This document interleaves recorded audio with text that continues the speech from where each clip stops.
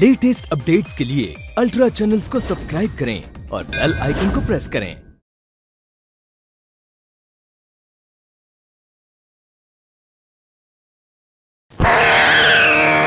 पद्मालया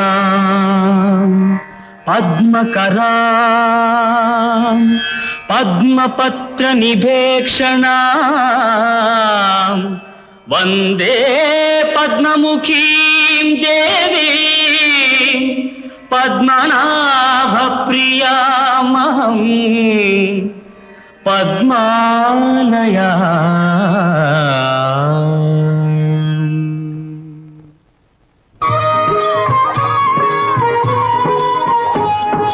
रघुपति राघव राजा राम पतित पावन संभाल के बच्चा संभाल के जरा ध्यान से।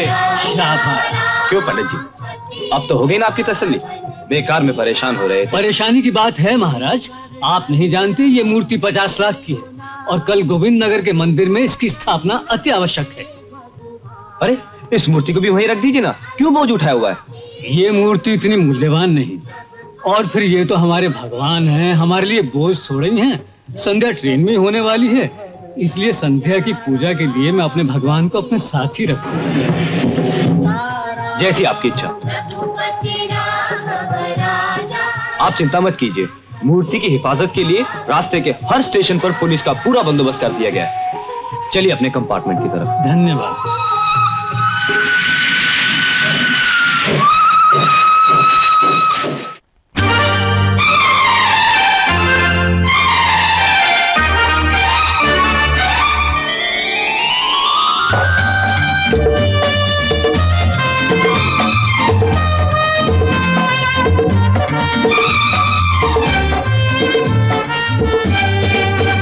ऋतुरु ऋतुरु ऋतुरु ऋतुरु ऋतुरु ऋतुरु ऋतुरु तेरी याद, तेरा नाम, तेरा प्यार, तेरा रूप, तेरी जुल्फों की खुशबू, ओ मेरे दिल में है तू ही तू।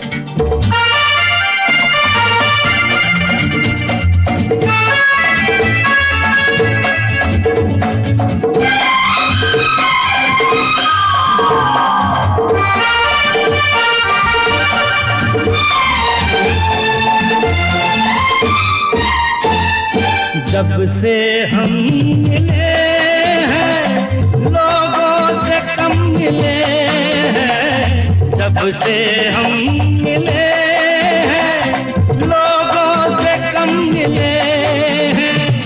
ये तूने कर दिया है, मुझ पे क्या जादू? वो तेरी याद तेरा नाम, तेरा प्यार। तेरा रूप तेरी जुल्फों की खुशबू ओ मेरे दिल में है तू ही तू।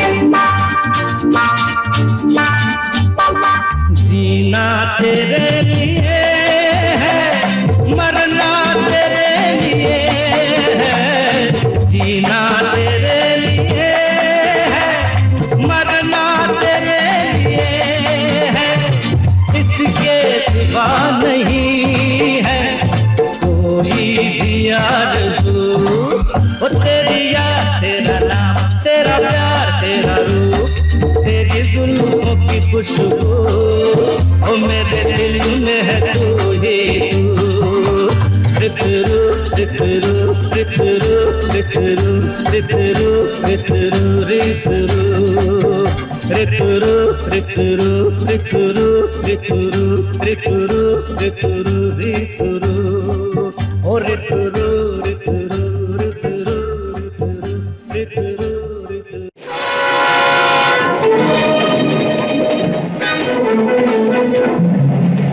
प्रणाम महाराज जीते रहो बच्चा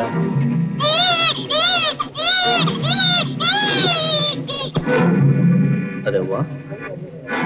ये भी कमाल की वस्तु है। भाइयों और बहन क्या वंडरफुल कार्टून बन सकता है इस विषय पर?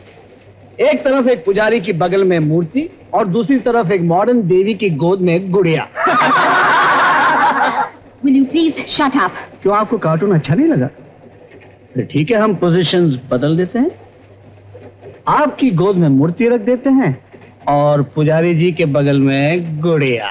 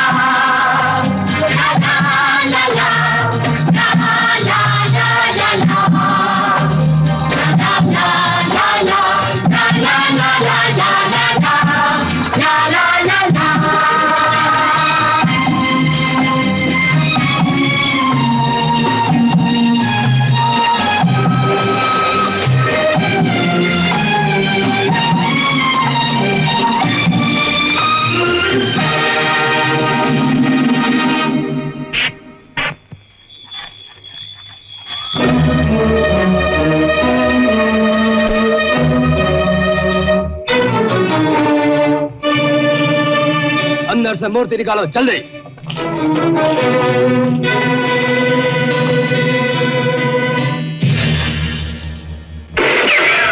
खबरदार अगर किसी ने शोर बजाने की कोशिश की तो यही भून के रख दिया जाएगा।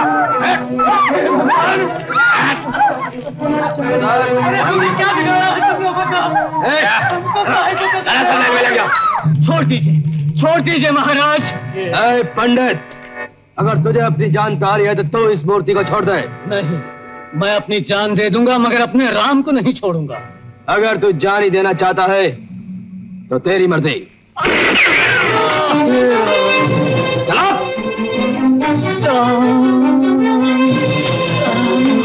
प्यारे खूनी कमीने मैं तेरा खून पी जाऊँगी। सवाल जवाब नहीं बेबे। रंजीत तुमने पुजारी जी का खून क्यों किया? सवाल जवाब नहीं सूरज। तुम अच्छी तरह से जानते हो कि हमें अपने मकसद को हासिल करने के लिए कुछ भी करना पड़ सकता है। और फिर पचास लाख की इस मूर्ति के लिए अगर मैंने इस बुड्ढे का खून भी कर दिया तो कौन सी आफत आ गई? अब इससे पहले यहाँ कोई आ जाए हमें फ़ौरन यहाँ से निकल जाना चाहिए। चलो रंजीत मैंने आज तक तुम लोगों का साथ दिया सिर्फ़ इसी शर्त पर के पास सिर्फ़ मूर्तियों की चोरी तक रहेगी। लेकिन आज आज तुम्हारे हाथ किसी मासूम के खून से रंग चुके हैं। और मैं पहले भी कह चुका हूँ मैं ऐसे हाथों में अपना हाथ कभी नहीं दूँगा। तो इसका मतलब है कि तुम भी हम लोगों से गद्दारी करना चाहते हो हाँ? खबरदार अपनी अपनी बंदूकें फेंक दो वरना हेलो बस उठा लीजिए सब बंदूक और सारे मुसाफिरों को मूर्ति समेत फैलने लगे। आप लोग सब वैन में बैठ जाइए। चलो come on all of you move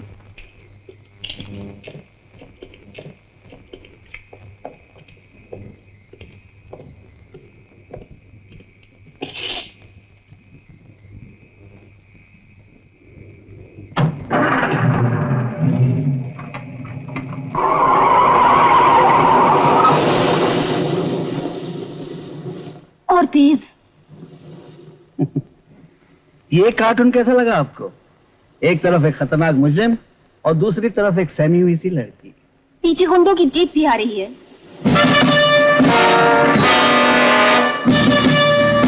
आप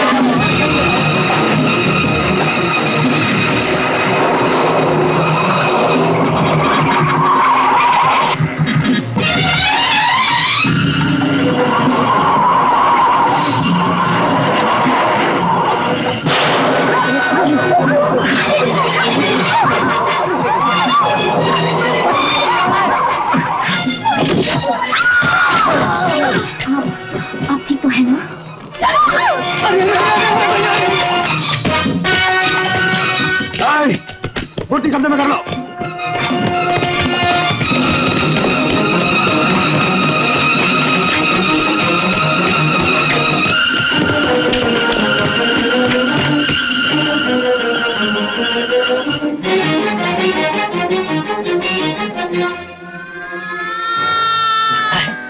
सवाल जवाब नहीं। इस कुत्ते को मरकर तक पहुंचाना बहुत ज़रूरी है।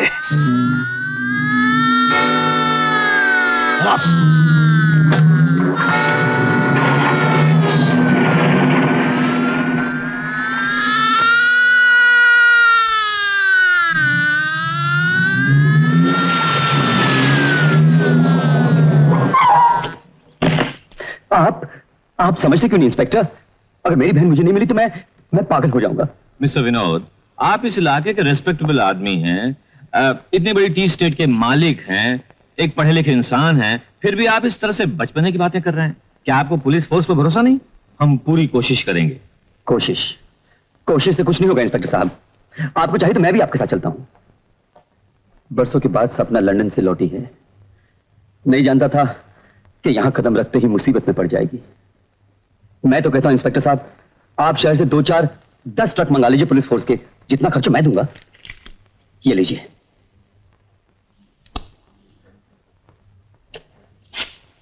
ये लीजिए ब्लैंक चेक। इंस्पेक्टर, आप आप कहाँ जा रहे हैं? अगर इसी तरह से मैं आपकी बातों में अपना वक्त जाया करता रहा तो मुजरिम हमारी पहुँच से बहुत दूर चले जाएँगे। मेरा काम मुझ पर छोड़ दीजिए। विश्वास रखिए, आपकी बहन जल्द से जल्द आप तक पहुँच जाएगी। ऑलराइट अ, लेकिन बहुत चालाक हैं आप। क्यों? क्या हुआ? मेरे बारे में मेरे भैया के बारे में मेरी टी स्टेट के बारे में सब कुछ जान लिया आपने।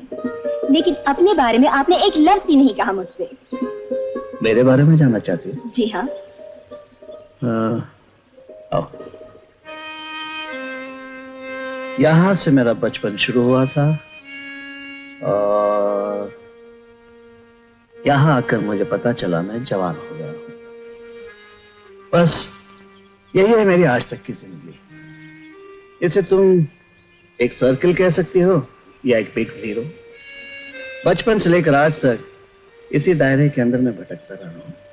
अकेला, तन्हा, अपने गुनाहों के बोझ के साथ। लेकिन आज इस दायरे को तोड़कर मैंने बाहर कदम रखा है। आज के बाद तो ज़िंदगी शुरू करनी है। और जो चीज़ शुरू ही नहीं हुई उसके बारे में अभी से तुम्हें क्या बता सकता हूँ? मैंने आपसे कहा ना मेरे भैया बहुत शरीफ इंसान हैं। मेरे साथ चलिए वहाँ आपको किसी किस्म की कोई तकलीफ़ नहीं होगी। तकलीफें उठाने और सहने की तो आदत पड़ गई है मुझे।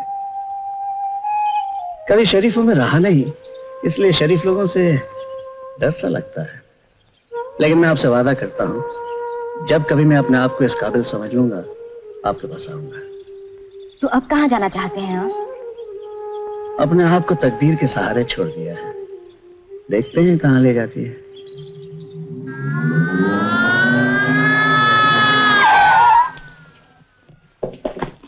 सपना तुम इन लोगों के साथ चली जाओ। लेकिन ऐसी हालत में मैं आपको छोड़कर कैसे जा सकती हूँ? देखो सपना तुम जानती हो मैं एक मुजरिम हूँ और पुलिस को मेरी तलाश है। लेकिन अभी मैं अपने आप को कानून के हवाले नहीं करना चाहता। इससे पहले मैं अपने गुनाहों का प्रायश्चित करना चाहता हूँ। तुम जाओ सपना मेरे साथ अपने आप को मुसीबत में क्यों डालती हो?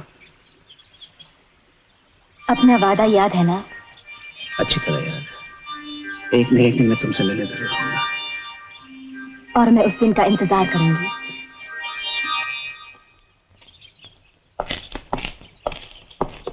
एक्सक्यूज मी आपका नाम मिस सपना है? जी। आप मिस्टर विनोद सक्सेना की जी हाँ वो मेरे भैया हैं। थैंक गॉड आप मिल गए आपके भैया आपके लिए बहुत परेशान है। Please come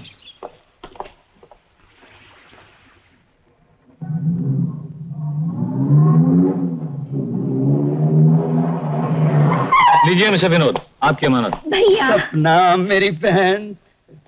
Thank you inspector thank you very much आप नहीं जानते आपने मुझ पे कितना बड़ा एहसान किया है। मैं इसके लिए आपको नहीं नहीं mister Vinod. Inspector please mister Vinod आपकी बहन आप तक पहुँच गई। इससे बढ़कर खुशी क्या हो सकती है? अच्छा तो आप इजाज़त दीजिए। जी। बाय बाय इंस्पेक्टर वो मुजरिमों का कुछ पता चला? कब तक नहीं चलेगा मिस्टर विनोद? एक न एक दिन पता चल ही जाएगा। Best of luck inspector wish you all the best thank you तो मेरी नन्नी मुन्नी गुड़िया कितनी लंबी हो गई है यूरोप जाकर हाँ? हाँ मैं देख रही हूँ मेरे भैया कितने दुबले हो गए हैं। मैं? जिम्मेदारियों का बोझ है बहना। तुम क्या जानो? अब तुम आ गई हो? सब कुछ ठीक हो जाएगा। अरे हाँ तुम्हें कोई परेशानी तो नहीं हुई? मैं तो बहुत घबरा गया था जब मैंने वो मनहूस खबर सुनी। नहीं भैया, ये एडवेंचर तो एक ऐसा एडवेंचर था, जो मुझे ज़िंदगी भर याद रहेगा।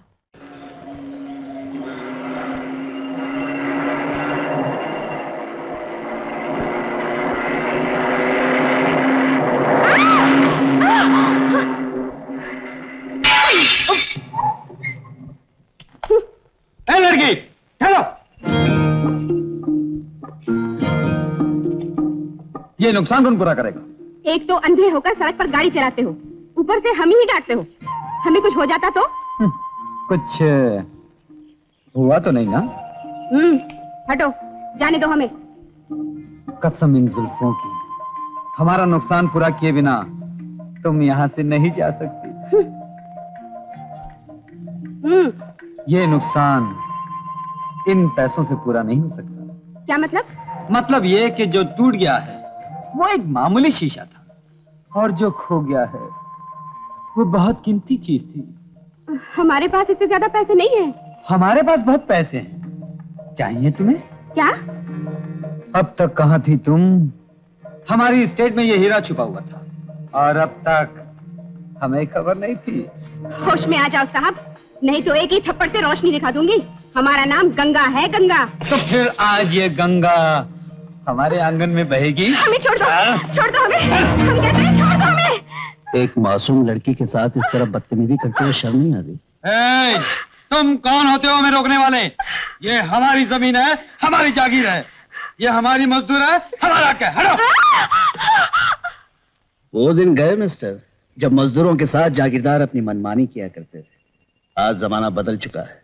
हर मजदूर का जमीर जाग चुका है। अब तुम लोग कोई ज़ोर ज़बरदस्ती नहीं कर सकते और हमारे रास्ते में आने वाली हर रुकावट को हम ठोकर मार कर उड़ा दिया करते हैं।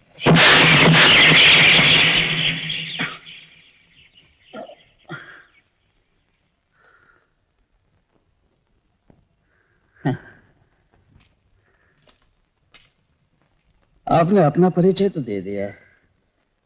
अब मुझे भी तो कुछ देना चाहिए। Thank you.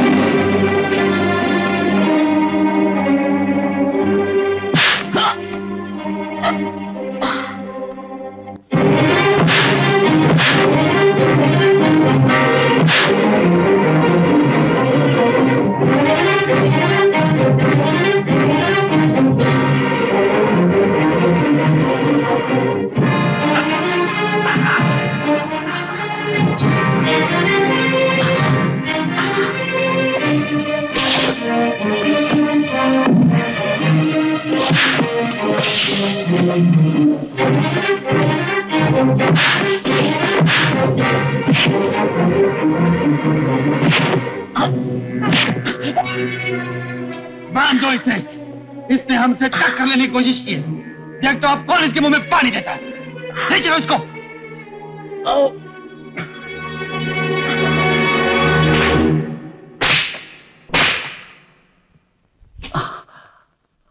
आँखें खुली रखो और जबान बंद। होश में हम तुम्हें रहने नहीं देंगे। और बेहोश तुम्हें होने नहीं देंगे। क्या बात है बेटे? कौन है ये? सड़क का कुत्ता है माँ। इसने हमसे गुस्ताखी की है। हम इसके टुकड़े टुकड़े कर देंगे। भांजे टुकड़े टुकड़े करने के बाद इसे तो तुम कुत्तों के आगे डाल देना। काशी वाले केशव काका कहते थे कि हाथ उठाने वाले का तो हाथ ही काट डालना चाहिए। बस कर बेटा। जाने दे इसे। तुम जाने की बात कर रही हो? हम इसकी जान लेकर छोड़ेंगे।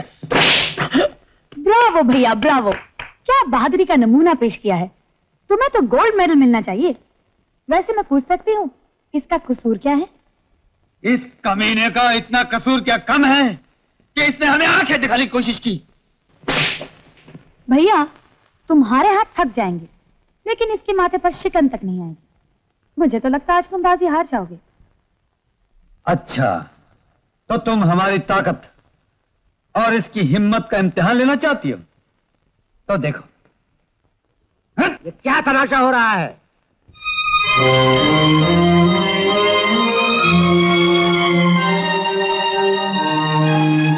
क्यों बाँध रखा इस गरीब को? हैं? क्यों जुल्म कर रहे इस पर? डैडी डैडी आप नहीं जानती है? मैं सब जानता हूँ। तुम्हारी कोई हरकत मुझसे छुपी नहीं है। आज फिर तुमने किसी की शराफत पर कीचड़ उछालने की कोशिश की होगी और ये बेचारा अजनबी तुम्हारी असलियत जाने बगैर धोखे में आ गया होगा। डैडी!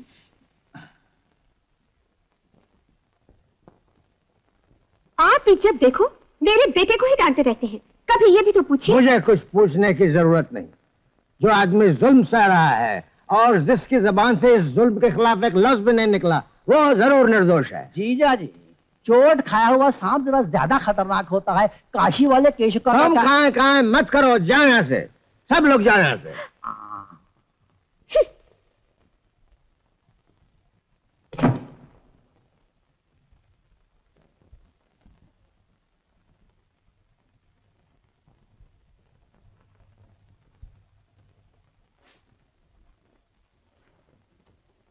Mm-hmm.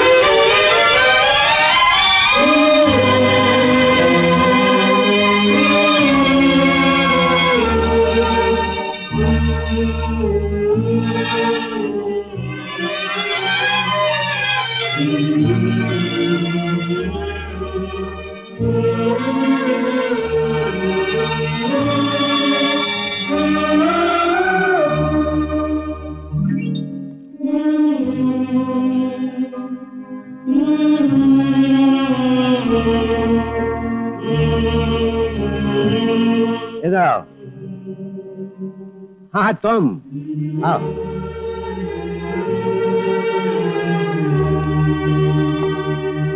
एक बात याद रखना, अच्छे आदमी को बुराई से दूर ही रहना चाहिए। और फिर जब सामने वाले के पास ताकत के साथ साथ दौलत भी हो। लेकिन दौलत की चाबुक हाथ में लेकर कोई किसी के साथ ज़बरदस्ती करे ये देखा भी तो नहीं जाता। एक अमीर और दौलतमंद का बिगड़ा हुआ बेटा किसी के साथ ज़बरदस्ती करता है या क्या करता है उसके मुँह लगने से तो यही बेहतर है। अपनी नज़रें झुकाकर रास्ता बदल देना चाहिए। जान तो एक दिन जानी ही है लेकिन मेरी नज़र में नज़रें झुकाकर जीना कोई ज़िंदगी नहीं। ठीक कहा तुमने। लगता है अपनी ज़िंदगी से बहुत कुछ पा चुके हो। और बहुत कुछ खो भी चुका हूँ। हम्म। क्या नाम है तुम्हारा? हाँ? तुम्हारा नाम क्या है? अ, सूरज। कौन कौन है तुम्हारे? कभी सब थे आज कोई नहीं। सुन के बड़ा अफसोस हुआ। इस तरफ़ कैसे चले आए? यूँ समझ लीजिए किस्मत ले आई। किस्मत? ऊपर वाले ने भी इंसान के माथे पर चंद लकीरें खींच कर नाम दे दिया है किस्मत। इतना बड़ा इंसान इन चंद लकीरों का गुलाम बन के रह गया है। आपका बहुत बहुत धन्यवाद। आज अगर आप ना होते तो शायद मैं भी ना होता। क्या सचमुच इस दुनिया में तुम्हें अपना कहने वाला कोई नहीं? अपना कहने से कोई अपना हो तो नहीं जाता। अच्छा। ठहरो ठहरो ठहरो। इस हालत में तुम कहाँ जाओगे? मेरा मतलब है अभी अभी तुमने कहा ना इस दुनिया में तुम बिल्कुल अकेले हो तो कुछ दिन यहाँ क्यों नहीं ठहर जाते हमारे पास? कुछ दिन क्या? ये जीवन आप ही ने दिया है। आप चाहे तो मैं सारा जीवन आपके चरणों में गुजार सकता हूँ। न जाने क्यों तुम्हें देखकर तुम पर कुछ तरस आ रहा है। शरीफ घर के लगते अभी अभी तुमने कहा ना कि किसी को अपना कहने से ही कोई अपना नहीं बन जाता। लेकिन आज से तुम मुझे अपना ही समझो। समझे?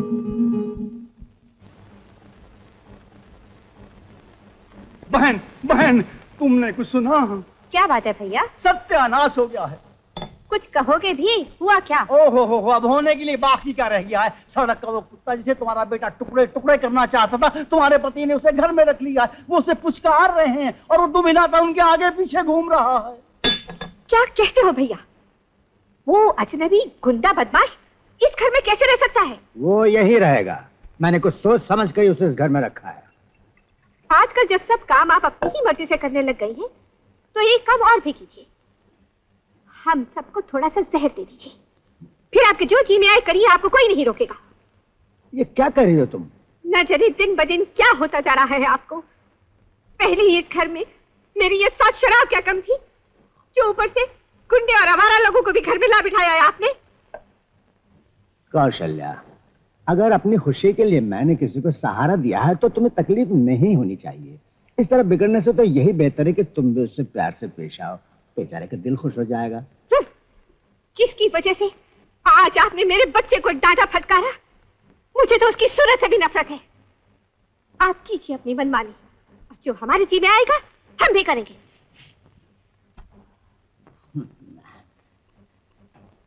शराब! ओ प्रीतम तुम क्यों खाली पीली इस शराब के लिए अपना ज़िंदगी बर्बाद करता है? अरे अपनी तो ज़िंदगी ही बर्बादी के लिए है मेरी।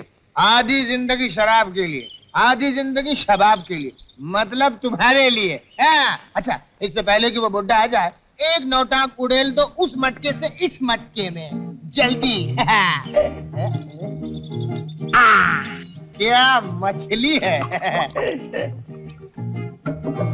हाय। हाथ मत लगाना हाथ मत लगाना। पैसा लाया प्रीतम अंकल अरे क्या तुम रोज पैसा पैसा करता? इतना पैसा जमा करके क्या करेंगा? कभी दान धर्म भी कर लिया करो। इधर करेंगा तो उधर काम आएगा। क्यों मेरी? उधर मत देखो। हमको मालूम था कि हम दुकान से दो मिनट के लिए बाहर जाएगा तो तुम इधर टपक पड़ेगा। इसीलिए चेक से भागता हुआ आया। फ़ौरन पैसा निकालो। अरे बड़े जालिम हो तुम डेढ़ फुट के विलन। न शराब के गिलास की तरफ़ देखने देते हो न महबूबा से आँख मिलाने देते हो। कोई बात नहीं हम तुमको देख लेगा। अरे जा जा बड़ा देखने वाला आया। तू शराब नहीं देगा एक मुक्का मारूँगा अरे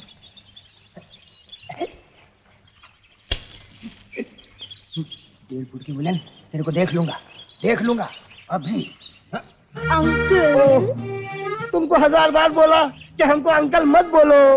मेरी जब तुम अंकल बोलता है तो ऊपर नीचे हमको कुछ होने लगता है। हमको अंकल मत बोलो।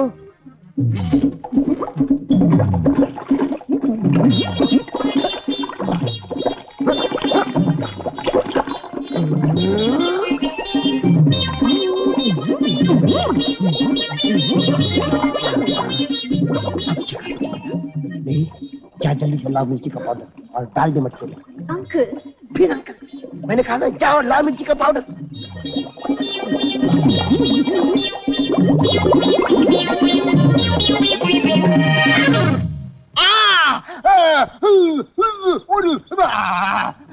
अरे बाप रे! अरे मैं मर गया। अरे मेरा मुँह जल गया। अरे बाप रे! ये किस कम हाथ की हरकत है? अरे शराब के नाम पर मिर्ची का शरबत बेचते हो? मैं अभी जाकर पुलिस में खबर करता हूँ और अभी करवाता हूँ ये दुकान बंद। तू मेरी दुकान बंद कराना चाहता है? अरे अंकल तुम हो। चुप मेरे को अंकल मत बोल। मैं नशे में ऐसे ही कुछ बोल गया था। कुछ गलत बोला? कुछ गलत नहीं बोला। न गलती तेरी है, न गलती मेरी है। गलती है इस दरख्त की। मैं इसे जड़ से उखाड़ कर फेंक दूँगा। मेरी ला कोयता जल्दी कर। अरे अरे अरे, uncle.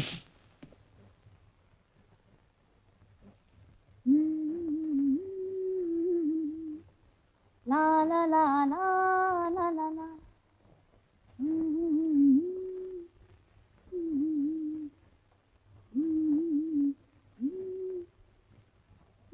la la la la la la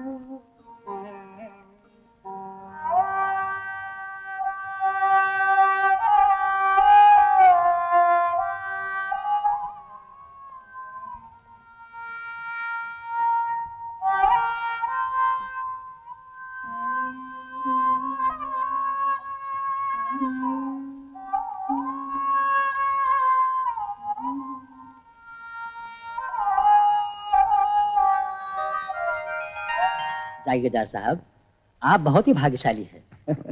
भगवान कृष्ण के जन्मदिन ही आपके बड़े बेटे का जन्म हुआ था। जी हाँ इसीलिए हर बरस इस हवेली में दोहरी खुशी मनाई जाती है। लेकिन आपका लाला किशन है कहाँ?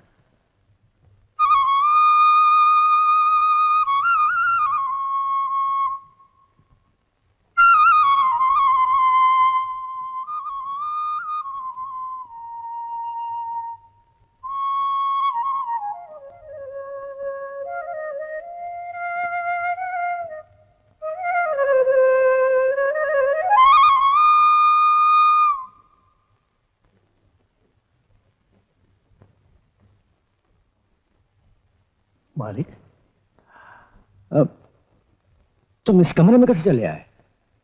यूँ ही कमरे का दरवाज़ा खुला देखा तो मैं अंदर चला आया। आप मुझे गलत मत समझिए मालिक मैं चोर नहीं हूँ। मैं जानता हूँ ये मूर्ति क्या जानते हो इस मूर्ति के बारे में? अब, यही कि ये बहुत कीमती है। ये मूर्ति मैंने मेरे किशन के रूप में बनवाई थी। बड़ा प्यारा बेटा था मेरा जो बचपन में मुझे छोड़कर चला गया। इस इस मूर्ति की ही नहीं इस कमरे की एक एक चीज़ के पीछे मेरी ज़िंदगी की दुख भरी कहानी छुपी हुई है।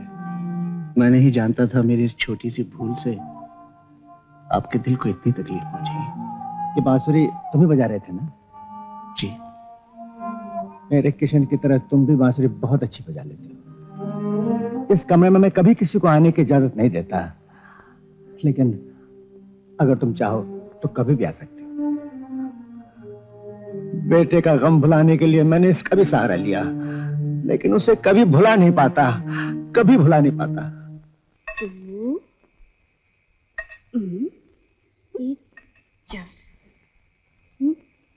हमारी बहन हमसे कुछ छुपा रही है। तुमसे मतलब? मतलब सिर्फ़ इतना है कि बड़े भाई से छोटी बहन को कुछ नहीं छुपाना चाहिए। जो तुम्हारा वो हमारा जो हमारा वो तुम्हारा। पहले मुँह धो आओ जाकर। अरे मुँह धोने के मामले में तो हम शेर हैं और शेर का भी मुँह धोते हैं क्या? लाई अरे माँ को क्यों बुलाती आपस का मामला आपस में क्या कर लेते हैं ना? देखो ना माँ। अरे क्यों परेशान कर रही है मेरे बेटे को हाँ? सारा दिन धूप में परेशान होकर घर लौटा है। भूखा होगा कुछ तो ख्याल कर। बस मैया एक तू ही है जो मेरा ख्याल रखती है और कोई मेरा ख्याल नहीं रखता। भैया हाँ बेटा। बहुत भूख लगी है।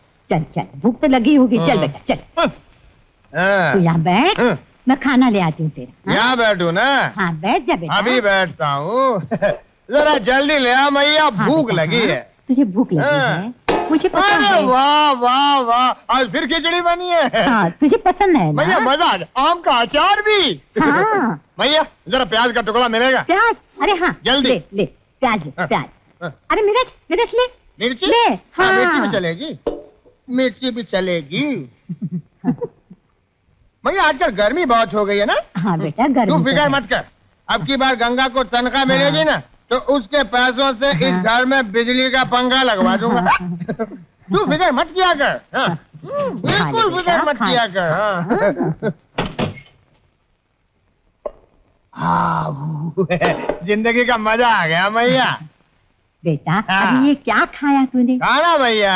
खाना नहीं घास खाई है तूने। हैं? अपनी माँ का कलेजा खाया है। अपनी बहन के अरमानों का खून पिया है तूने। बेशरम अरे क्या कर रही है मैया इतना शानदार खाना खा के छुरी दिखा रही है? अरे मैया अरे।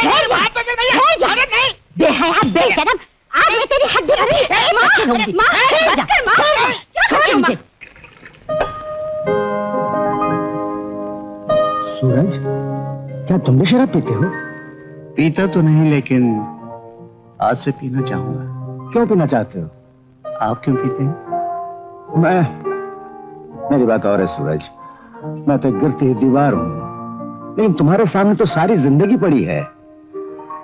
ये चीज़ बहुत बुरी है जिसम को खोखला कर देती है। हटा लो गिलास। मालिक ये ग्लास तो मेरी ज़िंदगी की तरह खाली है। लेकिन मैं देख रहा हूँ आपके ग्लास में बहुत दुख बहुत दर्द बहुत गम भरे हुए हैं।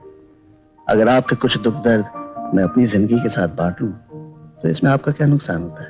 अरे तुम तो बहस करने लगे भाई। बात यह सूरज जब से मेरा बेटा वर्षों पहले मुझे अकेला छोड़ गया उसी दिन से शराब को मैंने अपना साथी बना लिया। आपका बेटा आपको छोड़ के नहीं गया मालिक। क्या? अब मैं देख रहा हूँ वो आपकी आँखों से दूर ज़रूर है लेकिन दिल से दूर नहीं। मालिक आप उसके लिए इतने दुखी हैं तो क्या मैं आपका दुख बांटने के लिए आपका साथ नहीं दे सकता? नहीं सूरज नहीं मैंने तुम्हें अपने बेटे की तरह माना है। क्या कोई बाप ये चाहेगा कि उसका बेटा उसकी आँखों के सामने ये जहर पिए? और क्या कोई बेटा ये चाहेगा कि उसका बाप उसकी आँखों के सामने इस दलदल में डूबता चला जाए? नहीं मालिक। जो चीज़ मेरे लिए जहर है, वो आपके लिए अमृत नहीं हो सकती। अपना दुख बुलाने के लिए अगर आपको इसी का सहारा चाहिए तो फिर मेरी यहाँ क्या ज़रूरत है? मैं आज ही यहाँ से चला जाता हूँ। अभी इसी वक्त। क्या सूरज? सूरज, तुम नहीं जानते, इन कुछ ही दिनों में तुम मेरे कितने नज़दीक आ गए हो।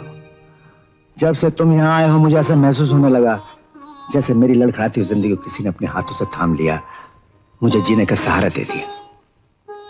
सूरज मैं आज ही से शराब छोड़ दूँगा। अगर तुम वचन दो कि तुम कभी मुझे छोड़कर नहीं जाओगे। अब वचन दो सूरज। मैं वचन देता हूँ मैं आपको छोड़कर कहीं नहीं जाऊँगा। अगर जाना ही है तो ये बुराई जाएगी।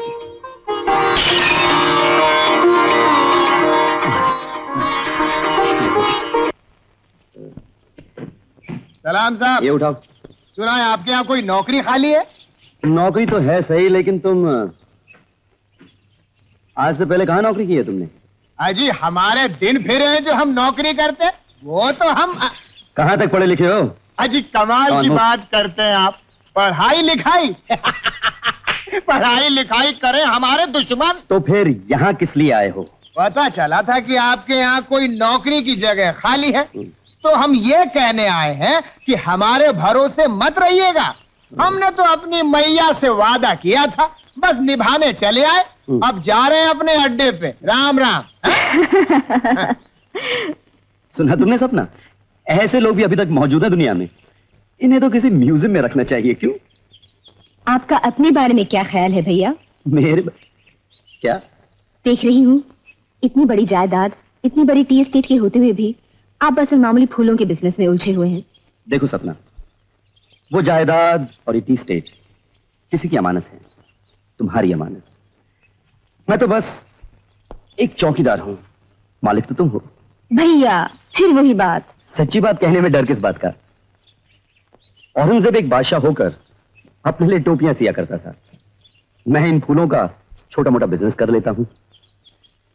बस यही एक चिंता है अंकल ने मरते वक्त जो ज़िम्मेदारी सौंपी थी उसे किसी तरह निभा सकूँ? किसी अच्छी जगह किसी अच्छे शरीफ लड़के के साथ तुम्हारी शादी। ओ भैया। शादी की बात की तो बताने लगी? अच्छा भैया अभी अभी वो आदमी तुम्हारे पास नौकरी के लिए आया था। हम्म, तो क्या कोई नौकरी है तुम्हारे पास? तुम्हारा क्या इरादा है? मैं तो अब बस यूँ ही जाना चाहती हूँ। नौकरी तो है सपना लेकिन आजकल किसी के माथे पर तो लिखा नहीं होता। कि वो इंसान कितना ईमानदार है भरोसे के काबिल है या नहीं? उसकी पिछली ज़िंदगी पर किसी जुर्म का दाग तो नहीं? और तुम तो जानती हो business is after all business किसी को नौकर रखने से पहले उसके बारे में सब कुछ जान लेना बहुत ज़रूरी होता है। तुम्हारी नज़र में ऐसा कोई आदमी है? ए, हाँ? किस सोच में पड़ गई हो? नहीं नहीं कुछ नहीं। बस यूँ ही एक ख्याल आ गया था। ए! इतनी घबराहट में कहा चले जा रहे हो? चुप क्यों हो? जवाब क्यों नहीं देते? चोरी करके तो नहीं जा रहे हो? ऐसा क्यों कह रही हो मीना? तू नहीं जानती सपना? आजकल की नौकरों की नीयत का कोई ठिकाना नहीं। ये तुम्हारे घर के नए नौकर हैं। नौकर ही समझ लो सपना। घर की सफ़ाई से लेकर ड्राइवरी तक हर काम कर लेता है। वैसे डैडी का भी जवाब नहीं। बहुत सर चढ़ा रखा है उन्होंने इसे। जाओ गैराज में से गाड़ी निकाल कर लाओ। मेम साहब को उनके घर पहुंचाना है। जाओ। जी। सपना तू उधर क्या देख रही है? पूरा यूरोप घूम कर आई है। कोई खूबसूरत जवान नहीं मिला तुझे? धत क्या बकती है?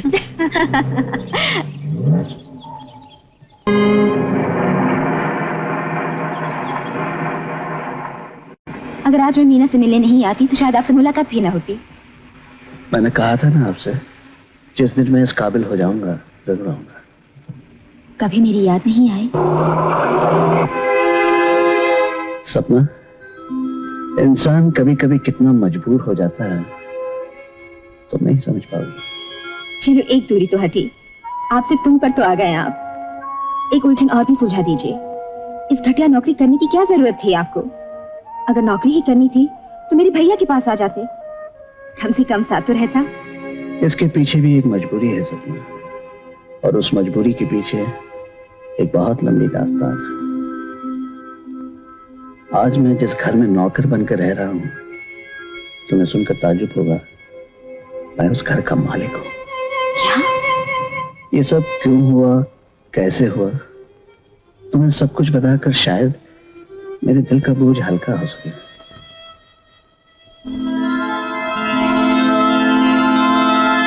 आखिर तुम अपनी असलियत सबको बता क्यों नहीं देते? कब तक अपने ही घर में अजनबी बनकर रहोगे? सपना? मैं अपने बाप के सपनों को तोड़ना नहीं चाहता। उन्हें क्या पता? उनका वो नन्हा सा मासूम बेटा किशन आज जमाने की ठोकरों से एक मुजम बन चुका है। मैं किस मुँह से इस सूरज को किशन के रूप में उनके सामने पेश करूँ? सपना? अगर उन्हें पता चल गया कि उनका बेटा किशन एक मुजरिम है तो उनकी रही सही ज़िंदगी की आस भी टूट जाएगी। जब तक मेरे दम में दम है मैं उनकी ये डोर टूटने नहीं दूँगा। इतना बोझ तुम अकेले उठाओगे? क्या मैं तुम्हारी कोई मदद नहीं कर सकती? मदद तो नहीं एक एहसान ज़रूर कर सकती हूँ। जब तक मैं अपने इस उजड़े हुए घर की खुशियाँ वापस नहीं लौटा लेता तुम ये राज बस अपने तक ही रखोगी। मुझे वचन दो सपना। मेरी असलियत के बारे में तुम किसी से कुछ नहीं कहोगी। एक वचन तुम्हें भी मुझे देना होगा। कभी मुझे अपने से अलग नहीं समझोगे।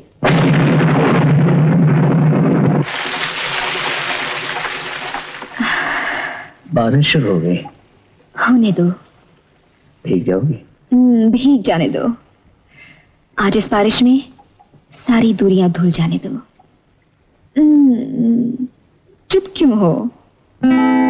कुछ कहना तो चाहता हूँ।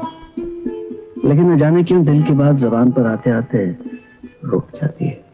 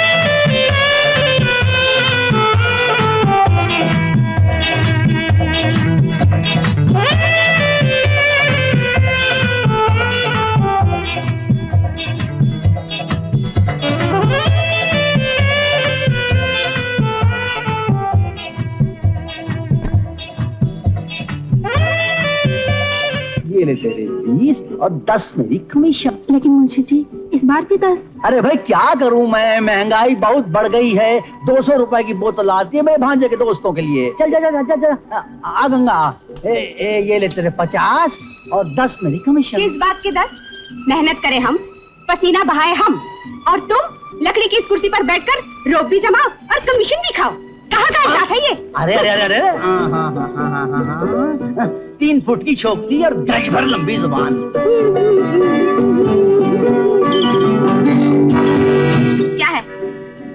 तुम्हें बहुत घमंड है अपनी जवानी का हा? जवानी का नहीं साहब हमें घमंड है अपनी इज़्ज़त का अपनी शराफत का। तुम्हारी इज़्ज़त और शराफत की कीमत चांदी के चंद टुकड़े हैं। शायद ये भूल रही हो तुम। और आप शायद ये भूल रहे हैं आपकी दौलत सब कुछ खरीद सकती है। किसी गरीब की इज़्ज़त या शराफत नहीं खरीद सकती। क्या नहीं खरीद सकते? चावल? काशी वाले केशव काका कहते थे कि अगर चावल नसीब ना हो तो चावल का छिलका ही उबाल कर बच्चों को पिला देना चाहिए। उसमें भी बहुत विटामिन होती हैं। चलो चलो चलो चलो चलो। हाँ, नाम तो सब खत्म हो गए। तुम कौन हो भाई? जी जी आप आप आप, आप तो कभी हाँ यहाँ कभी आता नहीं हूँ लेकिन आज अचानक आ गया।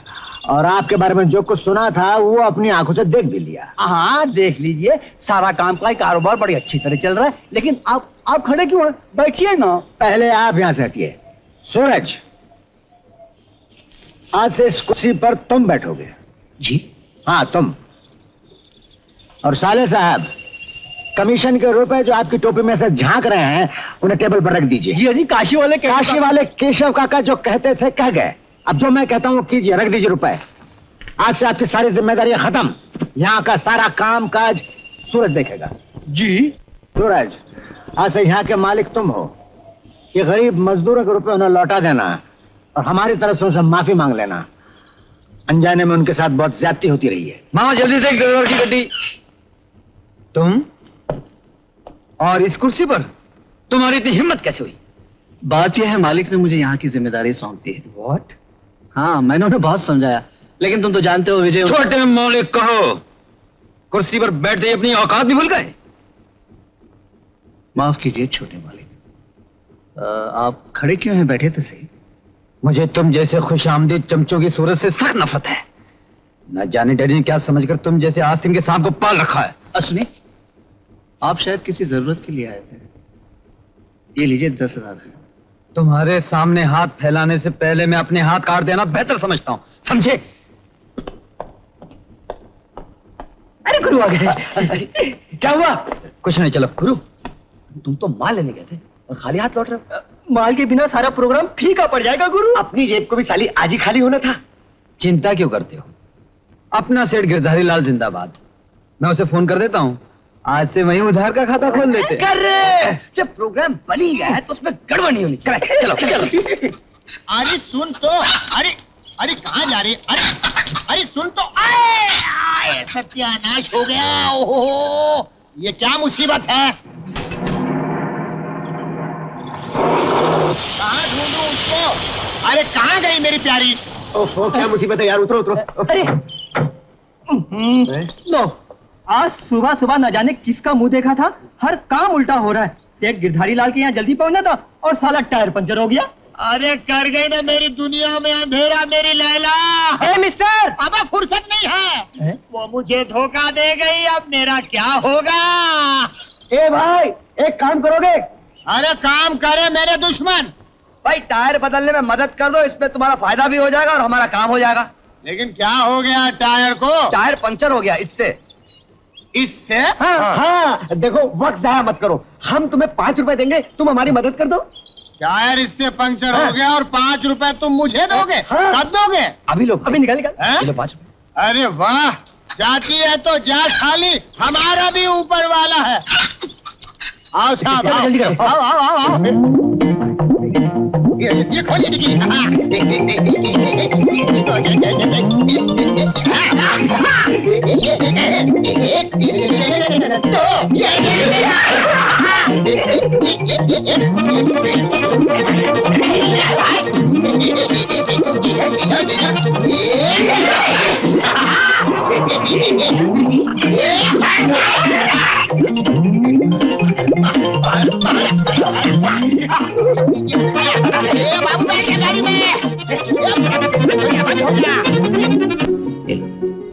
बहुत बहुत धन्यवाद बाबू साहब। आओ गंगा। कैसे हो? अच्छी हूँ बाबू साहब। हम तो बहुत खुश हैं आपको इस कुर्सी पर देखकर। और हम ही क्या? पूरी बस्ती आप पर बहुत खुश है। यहाँ क्या बात है? पिछले दो तीन दिन तुम काम पे नहीं आई?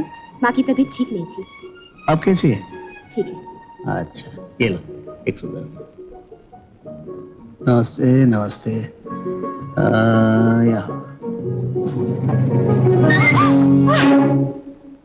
तुम? तुमसे कुछ लगाव सा हो गया। जब भी तुम्हें देखता हूँ तुमसे टकराने को जी चाहता है। किसी दिन इस टक्कर में टूट कर रह जाओगे बाबू। एक बात पूछू गंगा? तुम अपना इरादा क्यों नहीं बदल देती? आप अपनी नीयत क्यों नहीं बदल देते? देखो गंगा हमारी ये दौलत तुम्हारी ज़िंदगी बदल सकती है और तकदीर भी। जब अब तक इन कागजों का वज़न तुम्हारी अपनी ज़िंदगी नहीं बदल सका तो ये हमारी तकदीर क्या बदलेगा बाबू? हटा लो इन्हें हमारे सामने से। वो और होंगे जो इस चमक की खातिर बिक जाते होंगे। गंगा जिस मिट्टी से बनी है उसके सामने इन कागजों का वज़न बहुत हल्का है। गंगा आज तक हमें ठुकराने की किसी ने हिम्मत नहीं की। तुम नहीं जानती इसका अंजाम क्या हो सकता है। जो हो रहा है वो भी अच्छा नहीं हो रहा। विजय तुम्हारी रगों में शरीफ माँ बाप का खून है। ऐसी हरकतों से तुम अपने खून को शर्मिंदा कर रहे हो। तुम कौन होते हो हमें भाषण देने वाले? कुर्सी पर बैठ गए हो। मगर ये मत भूलो अब भी तुम्हारी हैसियत हमारे टुकड़ों पर पलने वाले कुत्ते से ज़्यादा नहीं।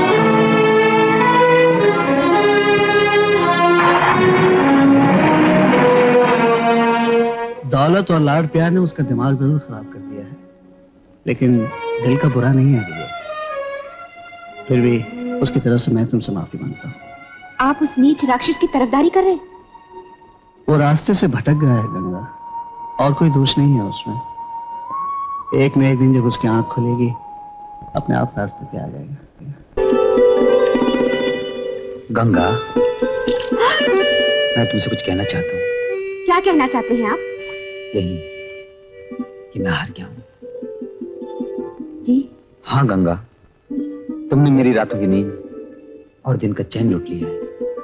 आज मुझे महसूस हुआ जिसे मैं प्यार समझता रहा वो सिर्फ़ मेरी हवस थी। और जिसे तुम हवस समझ रही हो वो मेरा प्यार है। I love you Ganga.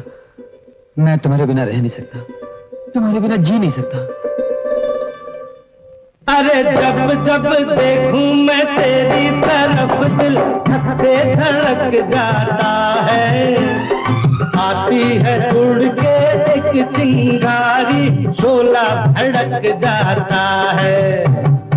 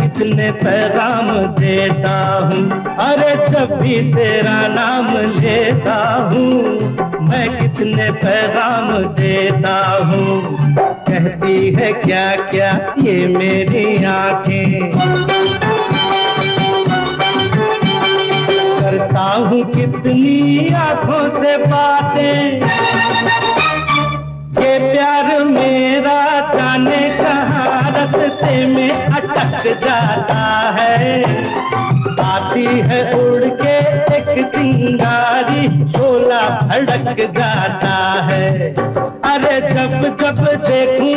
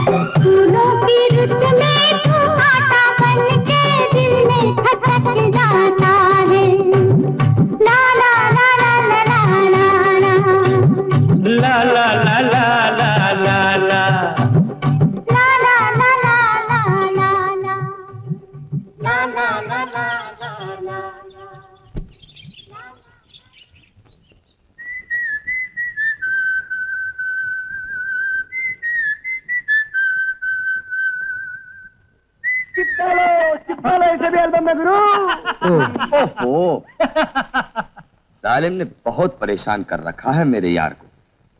उस्ताद कहो तो उठा ले आए से हाँ हाँ नहीं नहीं नहीं। इसके साथ ज़बरदस्ती नहीं होगी। ये उनमें से नहीं है जो हमारे एक ही इशारे से आकर हमसे लिपट जाए। इसके घमंड और गुरूर वाली अदाई तो हमें पसंद आई लेकिन एक दिन हम भी इसे बता देंगे। अगर ये जिद्दी है तो हम भी बड़े जिद्दी हैं। हो उस दिन के इंतज़ार में एक एग्ज़ाम?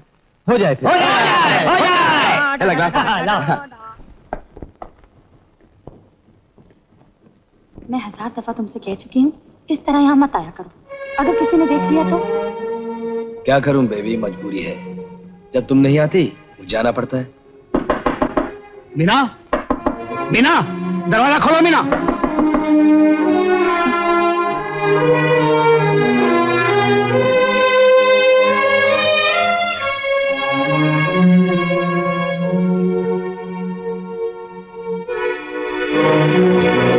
कौन था वो आदमी क्या बकते हो? तुम्हारे होश ठिकाने हैं या नहीं? देखो मीना इतनी रात गए एक जवान लड़की के कमरे में इस तरह कोई गैर शख्स आए तो खानदान की बदनामी हो सकती है। तुम कौन होते हो उस खानदान की चिंता करने वाले? हमारे रिश्तेदार हो मालिक हो क्या हो तुम? मैं तुम लोगों का कोई नहीं एक अजनबी ही सही। लेकिन इतना हक तो मुझे पहुँचता है कि तुम अगर कोई गलत कदम उठाओ तो मैं तुम्हें रोक सकूँ। मुझसे मत छुपाओगे ना? कौन था वो? क्यों आया था यहाँ? अब क्या यहाँ किसी के आने जाने के लिए भी तुमसे इजाज़त लेनी पड़ेगी? ये मेरा कमरा है। मैं जिसे चाहूँ बुला सकती हूँ। किसको बुलाया था तुमने? भैया। एक नीच इंसान आधी रात को तुम्हारे कमरे में मेरे सामने हमारी इज़्ज़त पर कीचड़ उछाल रहा है। इसकी इतनी हिम्मत? किसको बुलाया था तुमने? किसको बुलाया था तुमने? हटो! तुम्हें इस पर हाथ उठाने की ज़रूरत नहीं। दूसरों पर पत्थर मारने का हक उन्हें ही होता है जिन्होंने खुद कोई पाप न किया हो। खामोश! हमारे घर के टुकड़ों पर पलते हो और घर के वारिस से बात करने का सलीका नहीं? ये आँखें जाकर डैडी को दिखाना जो गंदी नाली के इस पत्थर को न जाने क्यों इस घर की चौखट के अंदर ले आए। इसलिए बेटे कि कभी इस पत्थर से टकरा कर शायद तुम लोगों को भी होश आ जाए। मेरे जीते जी जब इस घर की यह हालत है तो मेरे बाद न जाने क्या होगी। आखिर बात क्या है? इतनी रात गई ये सब क्या हो रहा है? अपनी इस लाडली से पूछो जो नज़रें झुकाए जबान पर ताला लगाए खड़ी है। या इस लाडले से पूछो जो लोफर और दूसरों को नीच कहता है। डैडी। खामोश! डैडी आप किसी गैर के सामने मुझे खामोश करके मेरी बेइज्जती कर रहे हैं डैडी? बेइज्जती उसकी होती है जिसकी कोई इज़्ज़त हो। ठीक है। जिस दिन आपकी नज़रों में अपने बेटे की इज़्ज़त होगी उसी दिन अब आपका ये बेटा घर वापस आएगा। मालिक विजय! विजय! विजय! विजय! मेरी बात तो सुनो विजय! विजय! नहीं विजय तुम इस तरह घर छोड़ के नहीं जा सकते। बात शुरू हुई थी खत्म हो गई। बात खत्म नहीं हुई। अब शुरू हुई है। जिस घर में घर के वारिस की कोई इज़्ज़त ना हो मैं उस घर में अब एक मिनट भी नहीं रह सकता। नहीं विजय नहीं। विजय मैं तो एक परदेसी हूँ। कुछ पल के लिए इस आँगन की छाव में ठहर गया था। मेरी वजह से ये घर तिनका तिनका होकर बिखर जाए। इससे तो अच्छा यही है मैं यहाँ से चला जाऊँ। सूरज तुम वचन दे चुके हो कि मुझे छोड़कर नहीं जाओगे? मालिक अगर मेरे जाने से यह घर बर्बादी से बच सकता है तो मुझे अपना वो वचन तोड़ देने दीजिए। विजय अगर हो सके तो इस घर की गिरती हुई दीवारों को संभाल लेना। तुमने जो संभालना था संभाल लिया। हम्म? मुबारक हो। लेकिन इन आँखों ने किसी के सामने झुकना नहीं सीखा। समझे? मैं जा रहा हूँ। अब उसी दिन लौटूँगा जब इस घर के काबिल समझा जाऊँगा। नहीं। विजय! लौटा मेरे बेटे। विजय! सुनते हैं आप बुला लीजिए उसे।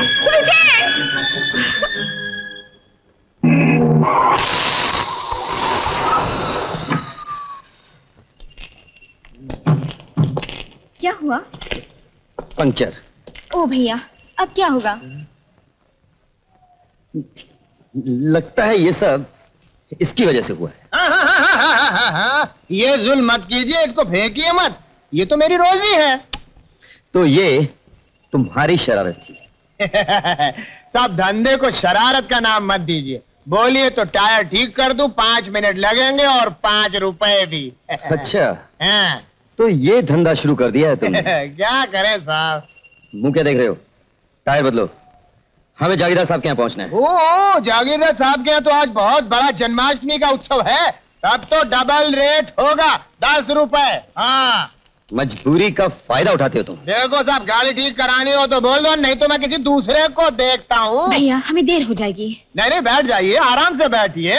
दस मंजूर हो तो दस नहीं तो बस। भैया दे मैं दीजिए ना चला। वहाँ फ़ंक्शन शुरू भी हो जाएगा। सुनो।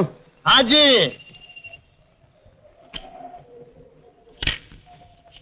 हैं? क्या हुआ? दस रुपए का चेक। ए साहब हमको ये चेक वेक नहीं चलेगा। हमको नोट चाहिए वो भी असली और हो सके तो कड़क। निकालो निकालो। जल्दी ऐसे ऐसे लोग भी मिलते हैं।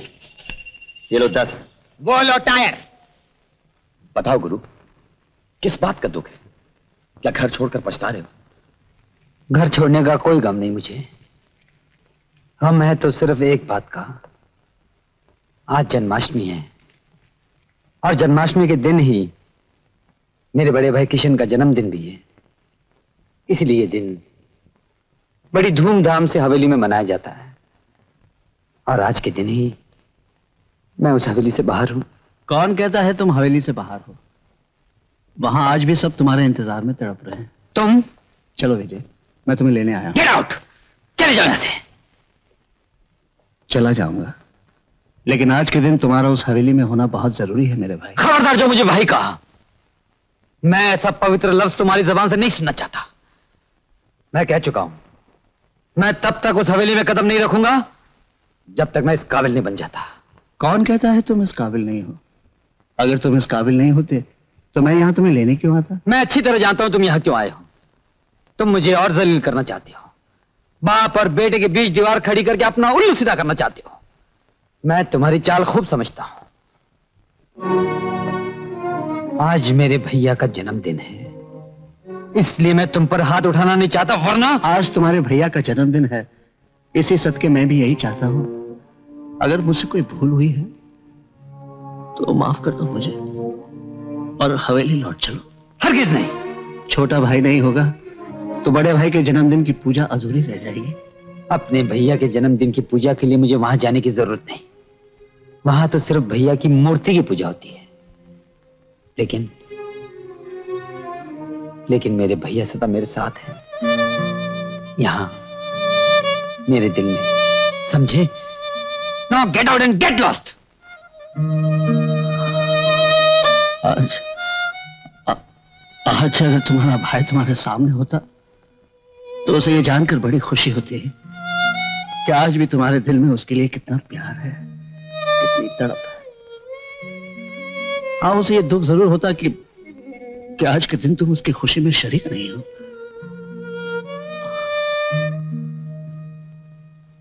आ, सत श्री सरदार जी। आइए, आइए, आइए। सिंह जी। अरे, गुरचरण सिंह जी। हाँ, गुरचरण अरे वाह सपना अंकल। आने में देर हो गई।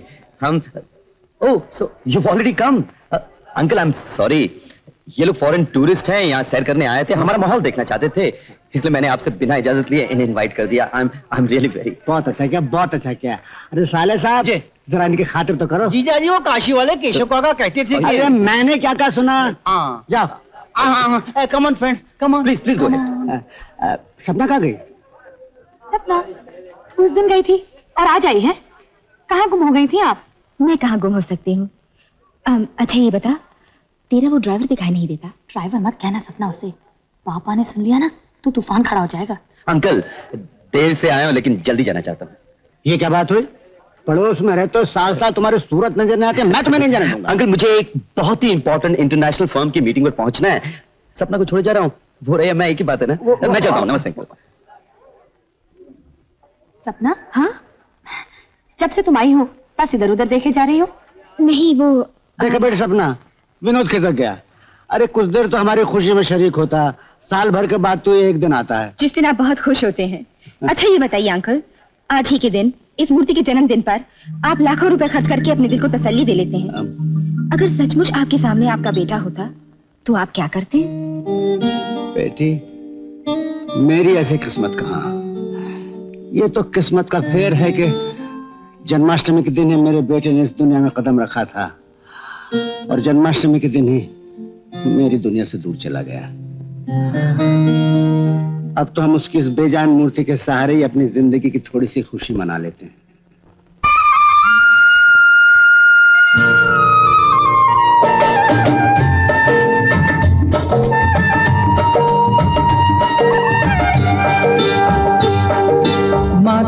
चोर नंद किशोर, मनमोहन घनश्याम रे। कितने तेरे रूप रे, कितने तेरे नाम रे। अरे माखन चोर नंद किशोर, मनमोहन घनश्याम रे। कितने तेरे रूप रे, कितने तेरे नाम रे।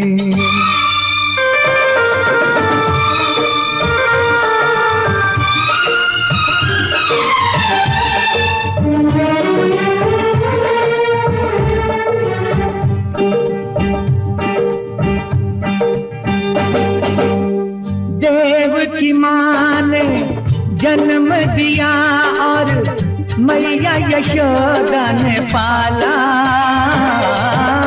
देव की माँ ने जन्म दिया और मैया यशोदा ने पाला।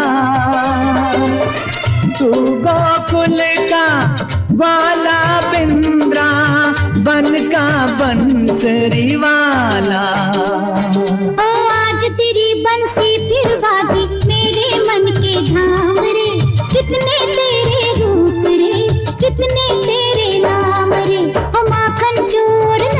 किशोर मनमोहन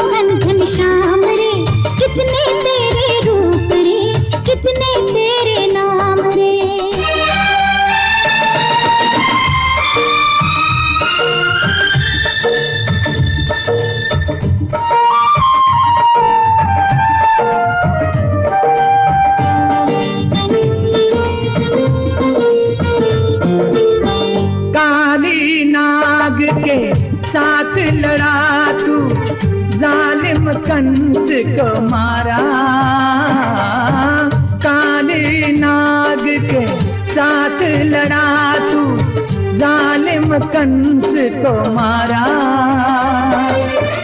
बाल अवस्था में ही तूने खेला खेल ये सारा।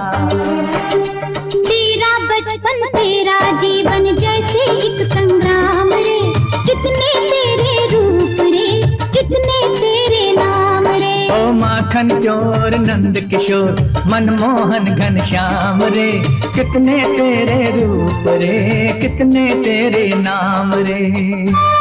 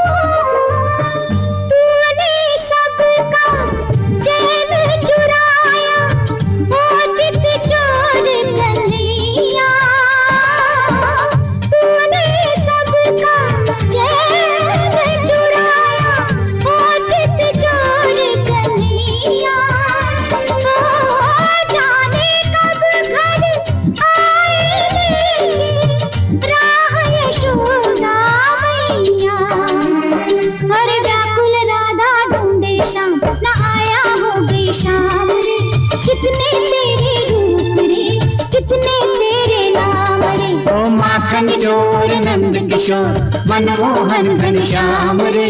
कितने तेरे रूप रे कितने तेरे नाम रे।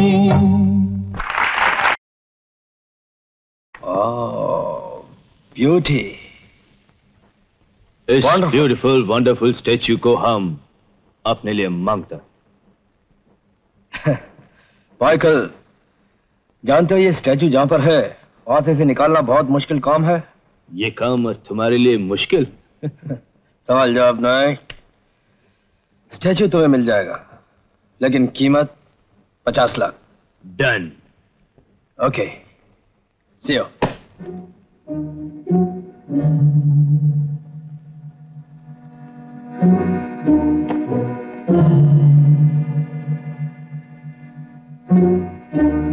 तुम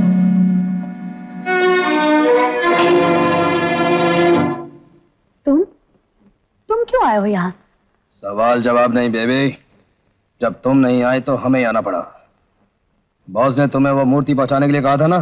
और वो मूर्ति? मैं किसी भी कीमत पर तुम लोगों को नहीं दे सकती। किसी कीमत पर भी नहीं? नहीं। तुम नहीं जानते रंजीत। वो मूर्ति नहीं। मेरे पापा की ज़िंदगी है। तुम लोग मेरी ज़िंदगी से खेल सकते हो। लेकिन मैं तुम लोगों को अपने पापा की ज़िंदगी से कभी खेलने नहीं दूँगी। सवाल जवाब नहीं। तुम अच्छी तरह से जानते हो कि तुम्हारे इनकार से ना सिर्फ़ तुम्हारे पापा की ही ज़िंदगी खतरे में पड़ सकती है बल्कि किसी और की जान भी जा सकती है। जिसकी जान बचाने के लिए तुम हमेशा हमारा साथ देती आई हो। क्या तुम चाहती हो मीना की उसकी जान रंजीत प्लीज़। आखिर तुम लोग कब तक मुझसे अपनी मनमानी करवाते रहोगे? तुम नहीं जानते जिस मूर्ति के लिए तुम लोग जिद कर रहे हो। अगर वो मूर्ति इस हवेली से चली गई तो मेरे पापा अपनी oh, no. ए, वो बुड्ढा तो वैसे भी चंद दिनों का मेहमान है लेकिन तुम्हारे सामने तभी पूरी ज़िंदगी पड़ी है। मीना, इस काम के बाद मैं बहुत से तुम्हारी सिफारिश कर दूँगा कि आंदा तुम्हें परेशान ना किया जाए। अब इससे पहले यहाँ कोई आ जाए, मुझे जल्दी से मूर्ति के पास ले चलो। Come on be a good girl ना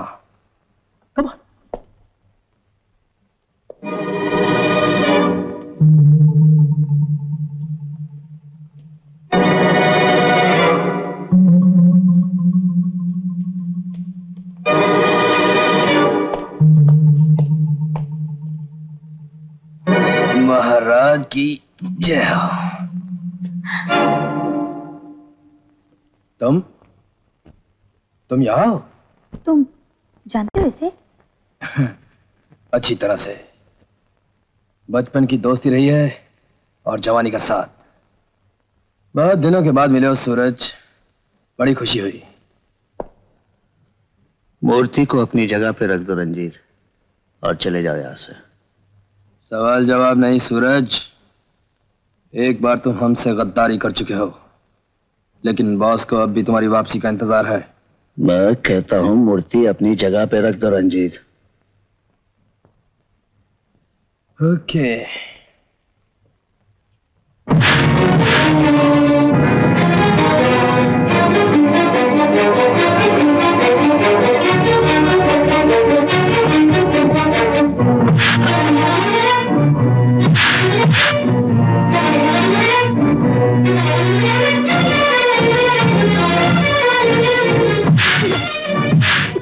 जाने दो।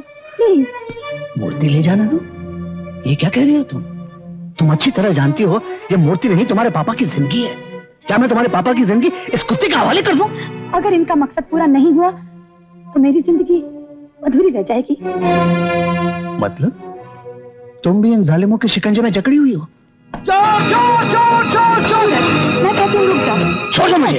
भाजी इसे पकड़े रखना जाने मत देना। मैं अभी पुलिस पे फ़ोन करता हूँ। संभालो इसे संभालो। कमीने जिस थाली में खाया उसी में छेद। हमारा ही खाना खाकर हमें से नमक हरामी। चोर उचक्के पता तेरे साथी कौन थे? नहीं तो मार मार के मैं। माँ ये तो अच्छा हुआ कि वक्त पर तूने इस बदमाश को पकड़ लिया वरना इसने तो पूरा घर लूटने में कोई कसर नहीं छोड़ी थी। हाँ, काशी वाले केशव काका कहते थे जब अपना ही सिक्का खोटा हो तो इसमें भला किसी का क्या दोष? मैं तो पहले ही कहता था कि जहर के पौधे को फैलने से पहले ही जड़ से काट दो नहीं तो पछताओगे। अब तुम भी भुगतो और जीजा जी भी भुगते। मूर्ति तो गई। कौन ले गया मूर्ति? कहाँ है मूर्ति? जीजा जी मूर्ति तो गई। अलबत्ता चोर आपके सामने खड़ा है। क्या? मेरी बात तो कभी आपने सुनी नहीं। अब कीजिए अपने लाडले का मुँह काला। तुम तुम बको मत। सूरज तुम बताओ मूर्ति कहाँ है? जवाब दो सूरज वरना मैं समझूँगा इस मूर्ति को चुराने के लिए तुमने मेरे घर में पना ली थी। जीजा जी आपके भोलेपन कभी जवाब नहीं है। काना कभी अपने आप को काना कहेगा। चोर कभी मानेगा कि उसने चोरी की है। मीना ने अपनी आँखों से इसके साथियों को मूर्ति ले जाते हुए देखा है। सच क्या है? मैं सूरज के मुँह से सुनना चाहता हूँ। बोलो सूरज। हाँ या नाम है जवाब दो। जवाब दो सूरज। हाँ, हाँ मालिक ये सच है। वो चोर मेरा साथी था। क्या? और ये भी सच है मूर्तियाँ चुराने वाली उस गैंग के साथ मेरा संबंध भी था। हाँ। और ये भी सच है आपके इस घर में कदम रखने से पहले मैं सर से पाँव तक जुर्म की दलदल में डूबा हुआ था। और मालिक ये भी सच है। इससे आगे मैं एक लफ्ज भी नहीं सुनना चाहता। सूरज तुम मेरे अपने नहीं थे। लेकिन अपनों से बढ़कर मैंने तुम्हें चाहा। कि इस दिन के लेकिन सबके सामने तुम मेरी चाहत को जलील कर दो। तुम्हें दौलत ही चाहिए थी तो मुझसे कहा होता। मेरे बेटे की मूर्ति चुराने की क्या ज़रूरत थी? मालिक आप मुझे चोर कह लीजिए जो जीना है कह लीजिए। लेकिन एक बात मेरी भी सुन लीजिए। मैं मैं वो नहीं जो आप समझ रहे हैं। और जो मैं तुम्हें समझाता तुम वो भी तो नहीं बन सके। मैं समझ गया। तुम मेरी मूर्ति वापस करना नहीं चाहते। तुमने साबित कर दिया कि गैर को ला कपड़ा बनाने की कोशिश करो। गैर गैर ही रहता है। चले जाओ यहाँ से। दूर हो जाओ मेरी नज़रों से। मैं तुम्हारी सूरत तक देखना नहीं चाहता। बस बस, बहुत नाटक हो चुका। बहुत ड्रामा कर चुके तुम। ये तो अच्छा हुआ, समय पर तुम्हारी असलियत का पता चल गया। अब वो क्या देख रहे हो? जाओ यहाँ से। देख लो। अरे नहीं नहीं नहीं ऐसे कैसे निकल जाएगा? काशी वाले केशव काका कहते थे कि बुरे को तो उसके घर तक पहुंचाना चाहिए। और यही सोचकर मैंने पुलिस थाने में फ़ोन भी कर दिया था। इंस्पेक्टर साहब आइए मुजरिम खड़ा है हथकड़ी लगाई। हवलदार। खैरिए इंस्पेक्टर साहब।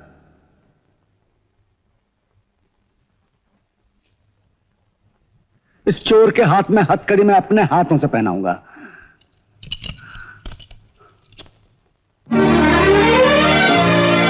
अब एक छोटी सी बिनती है तुमसे। चोरी करो डाका डालो लेकिन किसी के विश्वास का खून कभी मत करना। इसे ले जाए इंस्पेक्टर साहब। मैं इसकी तरफ़ पलट कर भी नहीं देखना चाहता।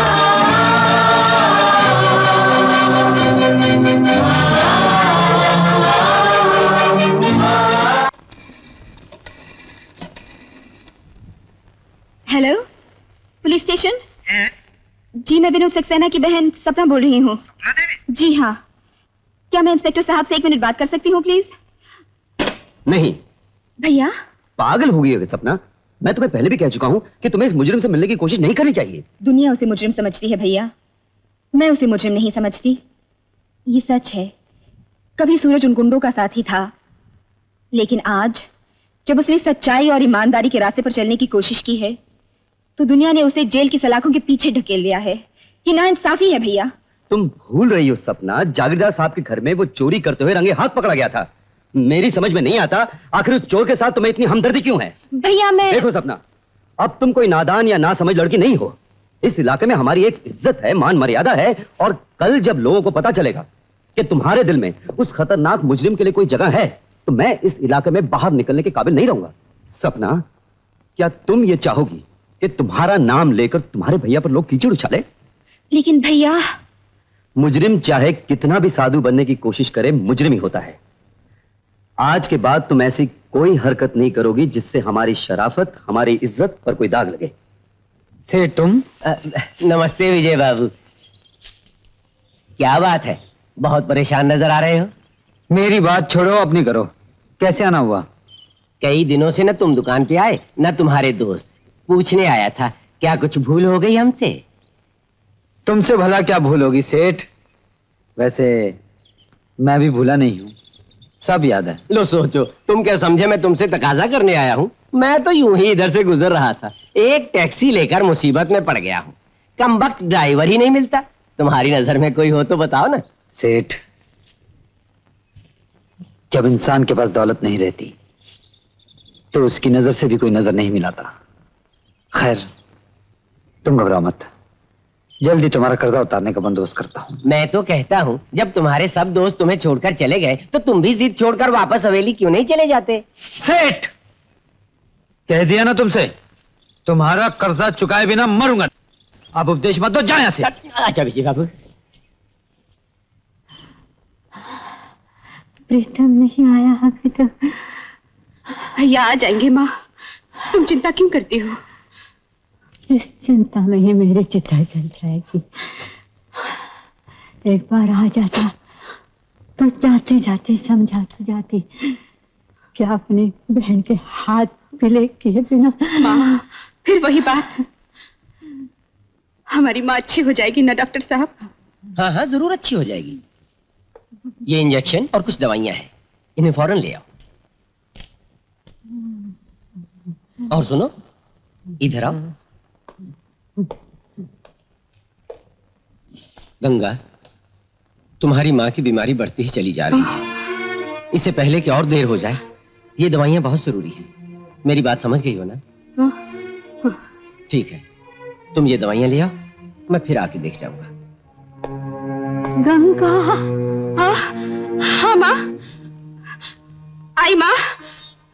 माँ तुम आया नहीं माँ। तू कहाँ जा रहे हैं? डॉक्टर ने कुछ दवाइयाँ कही हैं लाने के लिए। कहाँ से लाएगी बेटी। इतने दिनों से तो तो काम पे भी नहीं जा रही है। पैसे कहाँ से आएँगे? हमारे होते हुए तो चिंता क्यों करती है माँ? हमारे पास है पैसे। बेटी बहुत दुख उठा रही है तुम मेरी खातिर। नहीं हमसे ऐसी बातें करोगी तो हम रो पड़ेंगे माँ। हमारी माँ तो हमारी ज़िंदगी है। अपनी माँ की खातिर हम कुछ भी कर सकते हैं। तू घबरा मत। थोड़े से पैसे हमने बचा कर रखे हैं। अभी हम तुम्हारे लिए दवाई लेकर आते हैं। हाँ?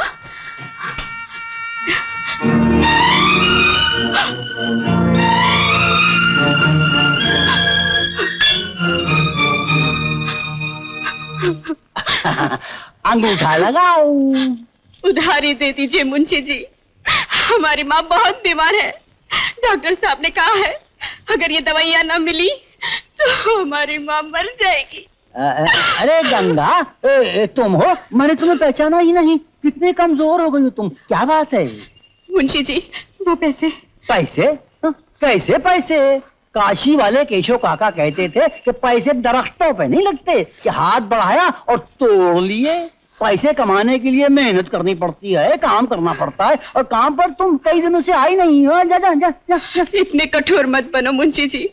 आज हमारे काम आ जाओ। हम ज़िंदगी भर तुम्हारा एहसान कभी नहीं भूलेंगे। आ हा हा हा। और जो तुमने हम पर एहसान किए हैं वो हम भी ज़िंदगी भर नहीं भूल सकते। जा वो दूसरा दरवाज़ा देखो। जा, जा। अरे जाओ।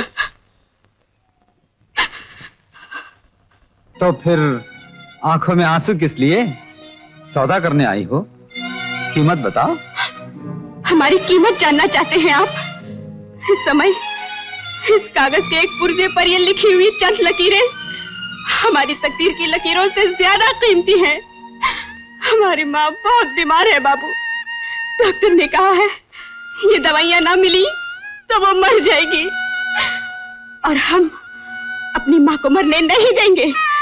चाहे इसके लिए इस गंगा को कीचड़ से ही क्यों ना गुजरना पड़े। क्या सोच रहे हो बाबू? वक्त बहुत कम है। और अब यही एक आखिरी दरवाज़ा बचा है हमारे लिए। ठीक है। इस दरवाजे से आज तक कोई खाली हाथ वापस नहीं गया। तुम भी नहीं जाओगी। ये गंगा अभी तक क्यों नहीं लौटी? अब तक तो उसे आ जाना चाहिए था।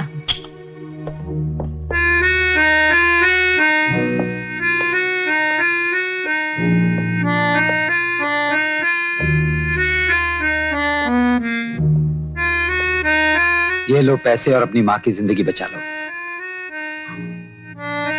बाबू नहीं गंगा भगवान ने जो फूल पूजा के लिए बनाया है इतना नीच नहीं हूँ मैं। कि उस फूल को अपने हाथों से मसल कर कीचड़ में फेंक दो। जिस दिन गंगा अपनी पवित्रता खो देगी उस दिन के बाद लोग गंगा के नाम की सौगंध लेना छोड़ देंगे। हो सके तो हो सके तो मुझे माफ़ कर तू गंगा। बाबूजी। गंगा? माफ़ी तो हमें मांगनी चाहिए बाबूजी। हमने आपको बहुत गलत समझा। कुछ तुमने गलत समझा कुछ मैंने गलत समझा। समझ लो सब वक्त का फेर था। बहुत भागी हूँ इस वक्त के पीछे बाबू। आज भी इसे थाम सकूँगी या नहीं ये तो नहीं जानती। लेकिन आप जो इस वक्त पर काम आए हैं ये एहसान कभी नहीं भूलूँगी कभी नहीं भूलूँगी।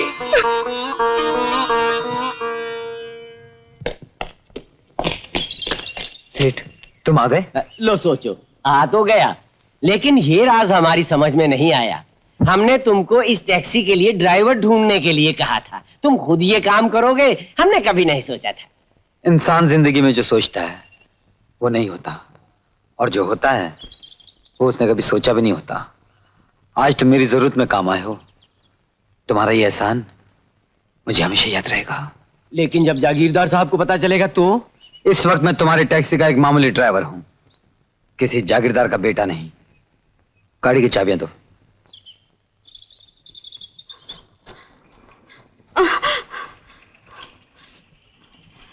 जल्दी कीजिए साहब।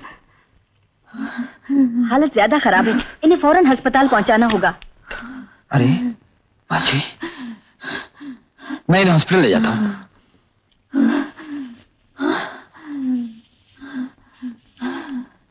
ये लीजिए, पचास रुपए।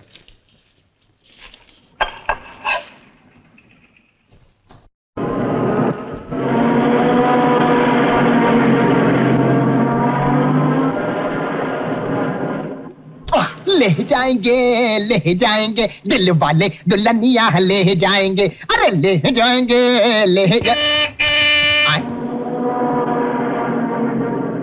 आ गई आ गई मेरी जान लग जा तीर निशाने।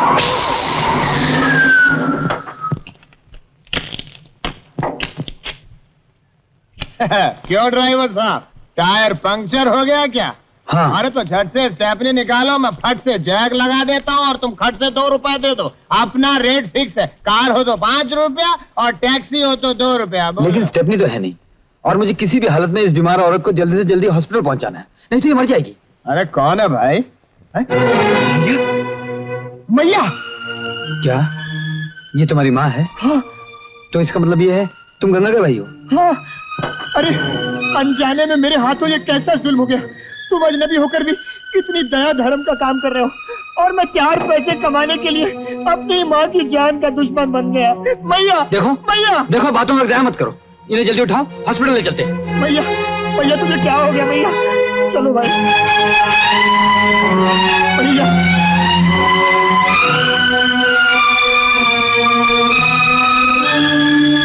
मैया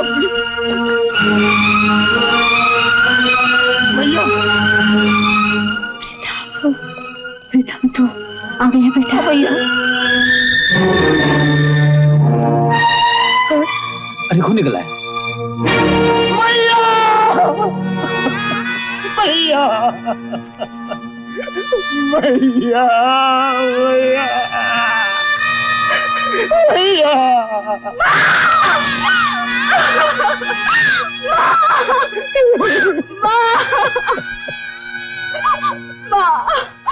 हमने तो तेरे लिए अपने आप को दाव पर लगा दिया था, माँ।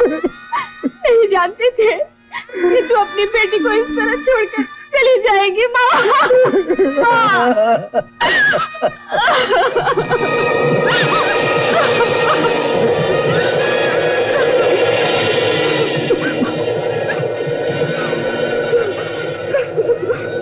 Ganga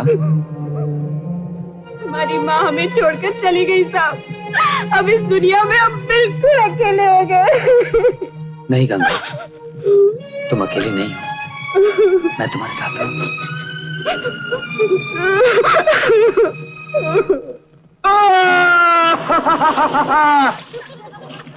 Lovely. Not only lovely, very beautiful. Okay, Right? it's all yours.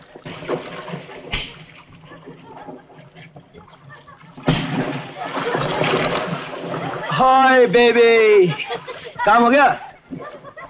That's good Ranjit तुमने मुझसे एक वादा किया था। याद है? हाँ बिल्कुल याद है। लेकिन क्या करूँ? बॉस की भी एक अजीब जिद है।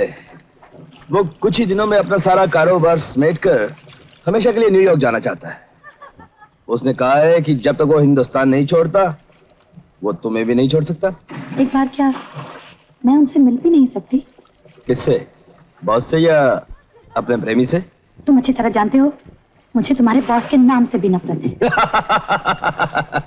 एनीवे बेबी तुम्हारे लिए बॉस का एक पैगाम है। एक घंटे में हमारे हीरे जवाहरात खरीदने के लिए कुछ विदेशी सौदागर लकी क्लब में आ रहा है। और बॉस ने उन हीरे जवाहरात की नुमाइश के लिए तुम्हें सिलेक्ट किया है। मैं नहीं जाऊँगी। सवाल जवाब नहीं बेबी जाना तो तुम्हें पड़ेगा ही। और हाँ मैं फिर से तुम्हें वादा करता हूँ कि इस सौदे के बाद मैं तुम्हें तुम्हारे उनसे मिलवा दूँगा। इट्स प्रॉमिस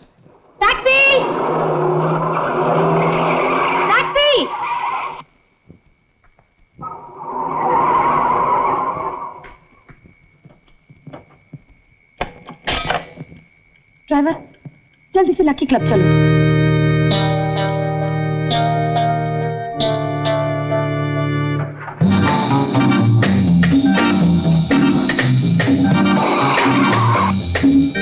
रख लो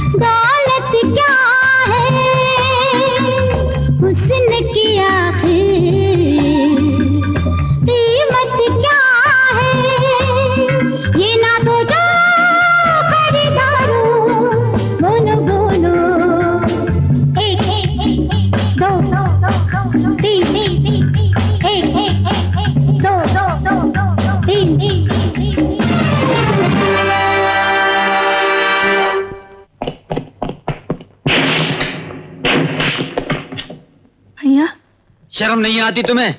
इस तरह से अपने खानदान का नाम रोशन कर रही हो बोल।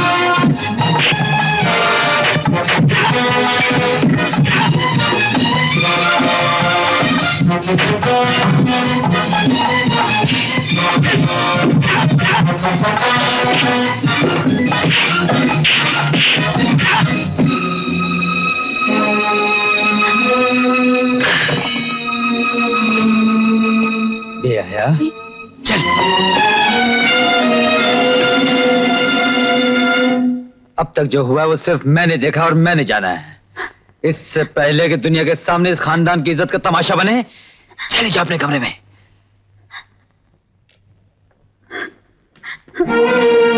पापा? इतनी रात गए और तुम इन कपड़ों में? ज़रूर किसी गलत जगह से आ रही हो। मुझे माफ़ कर दीजिए पापा। मैं बहक गई थी। वो तो मैं देख ही रहा हूँ। वैसे आप लोग अपनी मर्ज़ी के मालिक हैं। लेकिन क्या मैं आप लोगों से पूछने की हिम्मत कर सकता हूँ? ये सब क्या हो रहा है? आप आज भी कुछ ना ही पूछे तो अच्छा है। कहीं ऐसा ना हो। आपका ये नालायक और आवारा बेटा आपके खानदान के चेहरे से शराफत का नकाब उठाने पर मजबूर हो जाए। मैं समझा नहीं तुम कहना क्या चाहते हो? ओ विजय बेटा तुम आए हो। आया नहीं आना पड़ा। और अब जा रहा हूँ। नहीं नहीं। अब मैं तुम्हें कहीं नहीं जाने दूँगी कहीं नहीं जाने दूँगी। तुमने आज तक अपनी औलाद को कहीं आने जाने से नहीं रोका माँ। और इसका अंजाम आज तुम्हारी आँखों के सामने है। आज अपनी बहन को उसका एक भाई नीच लोगों की महफिल से उठाकर लाया और इस खानदान की शराफत की यह तस्वीर आप लोगों की अपनी बनाई हुई है। नहीं नहीं। एक भाई के नाते मुझसे जो हो सका मैंने अपना फ़र्ज़ पूरा किया। लेकिन अब जा रहा हूँ। क्योंकि बेटा होने के नाते मेरा इस घर पे कोई हक नहीं। मुझे तुम्हें कहा था, जिस दिन मेरी नज़र में तुम्हारी इज़्ज़त होगी, उसी दिन तुम घर वापस आओगे। आज मैं तुम्हारी आँखों में एक नई चमक देख रहा हूँ। देख रहा हूँ तुम्हें अपने खानदान की इज़्ज़त और शराफत का एहसास हो गया है। ज़िम्मेदारी का एहसास हो गया है। अपनी भूल का एहसास हो गया है। आज मेरा बेटा जो मेरे नज़दीक होते हुए मुझसे दूर था इस छोटे से पल के साथ मेरे सीने से आ लगा है। लौट आओ बेटे। अपने बाप के पास वापस आ जाओ। आजा बेटे। मुझे मुझे माफ़ कर दीजिए। मुझे माफ़ कर दीजिए। इडियट मीना को उसका भाई तुम्हारी आँखों के सामने से निकाल कर ले गया और तुम कुछ नहीं कर सके। अगर मीना ने हमारा राज फाश कर दिया तो यू फूल मुझे किसी भी कीमत पर अब वो लड़की वापस चाहिए। अब उसकी आज़ादी हमारे लिए खतरा बन सकती है। समझाई? यस व्हाट सूरज जेल से फरार हो गया है। रंजीत। सर। सूरज जेल से फरार हो चुका है। उसे शायद मालूम हो चुका है कि मीना हमारी रास्ता है। इससे पहले कि सूरज मीना तक पहुँचे हमें मीना को किडनैप कर लेना चाहिए। कम ऑन स्पीड सर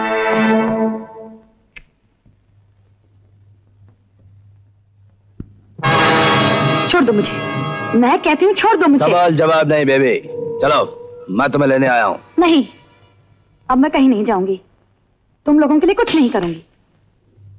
मैं अपने घर में इतनी जलील हो चुकी हूँ कि अब मेरा मर जाना ही बेहतर है। बेबी हमारे जीते जी, मौत तुम्हारे नज़दीक कैसे आ सकती है? छोड़ दो मुझे। छोड़ दो मुझे। छोड़ दो मुझे। दो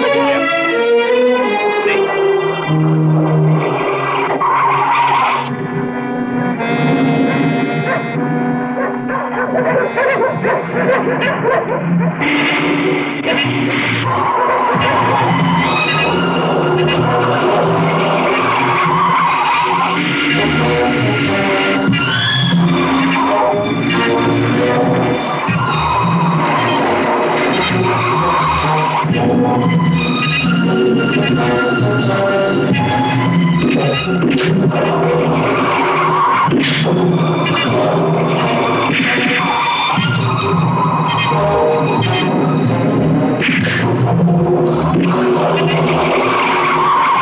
Thank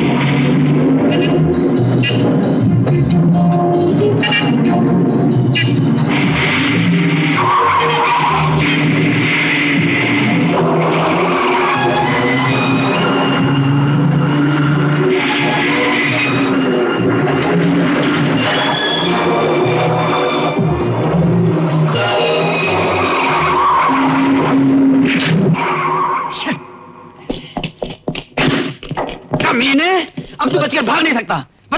वो गुंडे मेरी बहन को उठाकर कहा ले गए। यही जानने के लिए तो मैं उनका पीछा कर रहा था। तुम्ही मेरा रास्ता रोक लिया, वरना मैं उन गुंडों को ज़िंदा नहीं छोड़ता। अब हटो मेरे रास्ते। अबे, जाता कहाँ है? तेरी हर चाल को खूब समझता हूँ मैं। तूने घर में कदम रखते ही सबसे पहले मुझे घर से बाहर करवा दिया। मेरे डैडी की शराफत का नाजायज फ़ायदा उठाकर हवेली और जागीर की चाबियों पर कब्जा कर लिया। इतने से जी नहीं भरा।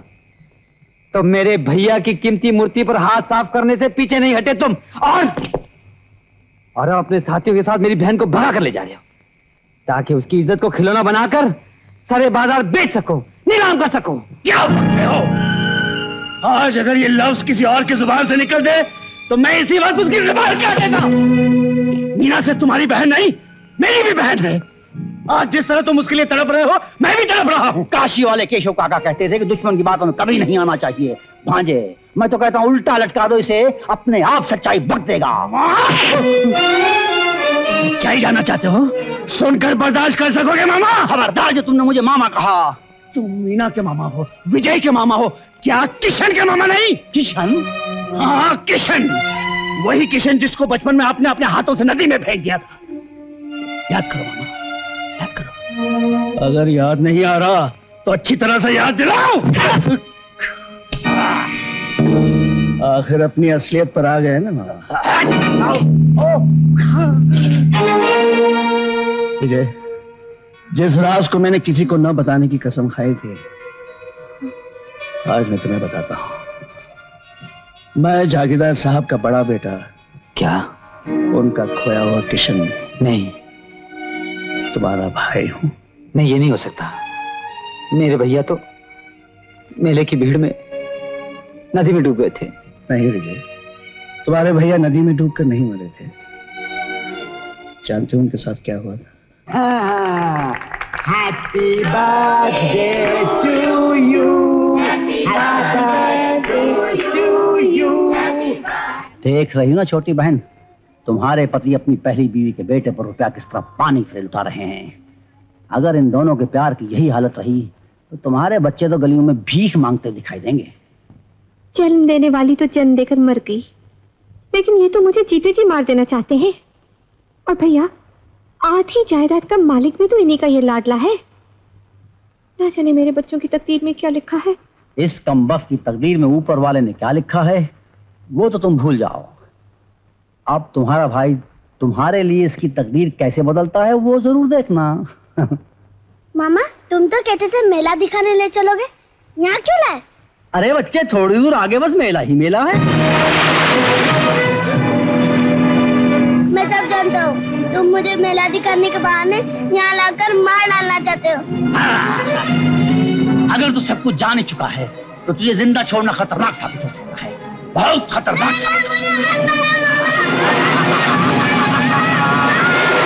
नहीं नहीं ये सब झूठ है। भांजे मैंने इसे नदी में नहीं फेंका था। इसका अपने आप पाँव फिसल गया था। मैं तुमसे सच कह रहा हूँ। सच तो तुम अब बोलोगे मामा। बोलो। भांजे मुझे माफ़ कर दो। मैंने जो कुछ भी किया अपनी बहन के लिए किया बहन की औलाद के लिए किया तुम्हारे लिए किया था। और कितना बड़ा जुल्म किया तुमने। मैं तुम्हें ज़िंदा नहीं छोड़ूँगा। है विजय नहीं नहीं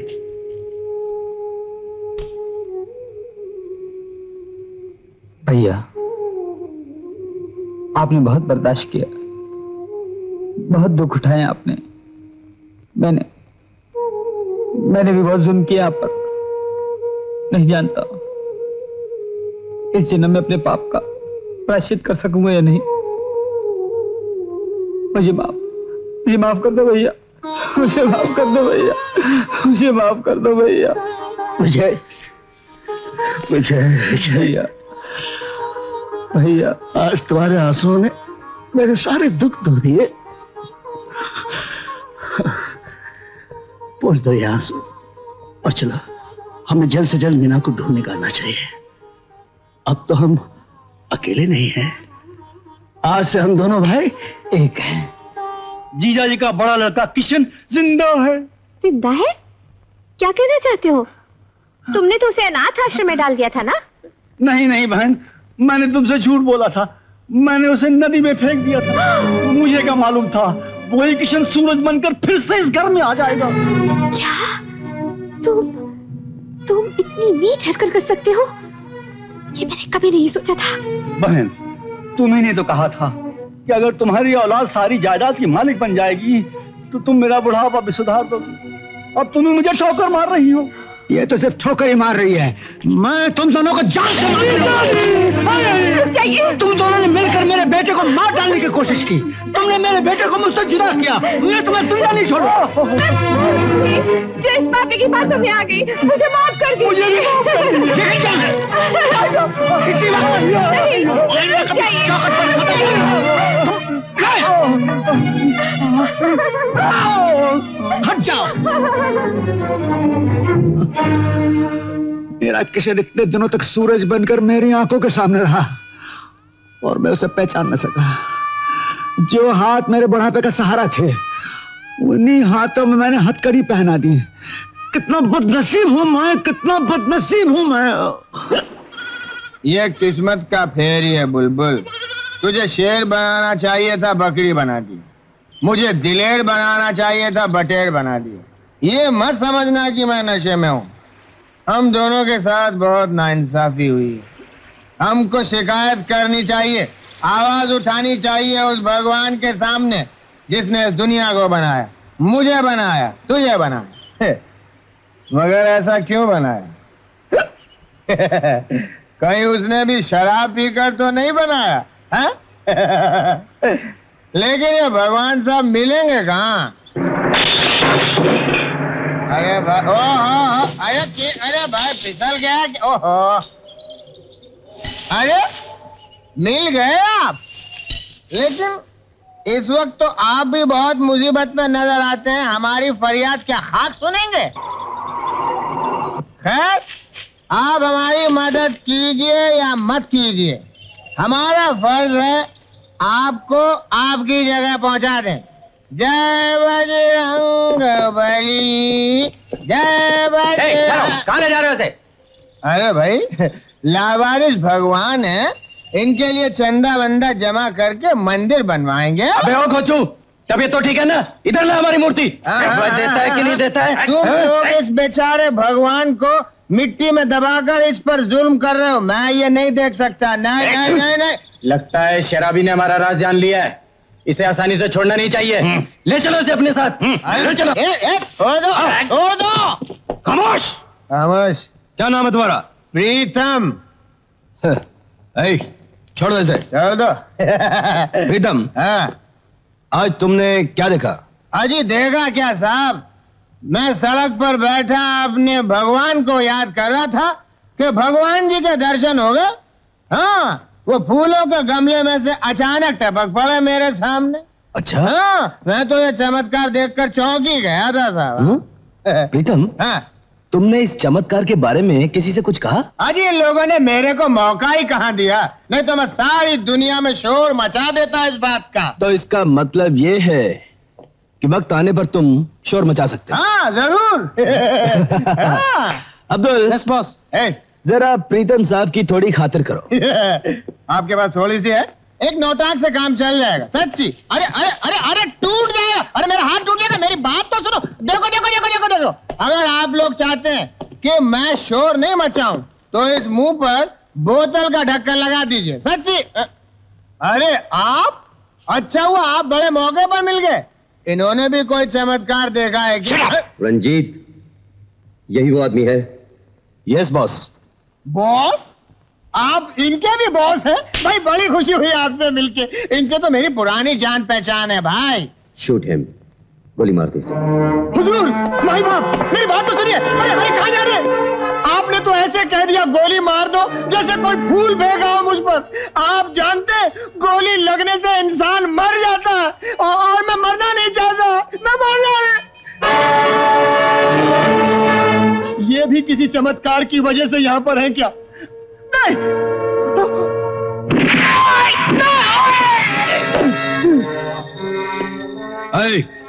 इसकी लाइट ठिकाने लगा दो।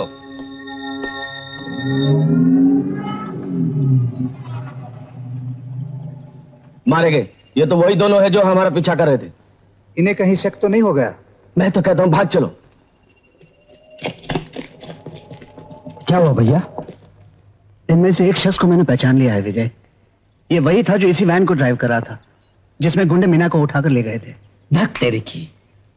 अगर इनमें से एक भी हाथ आ जाता तो ज़रूर उनके अड्डे का पता लग सकता था। शायद इस वैन की तलाशी से कुछ मिल जाए। और देखें।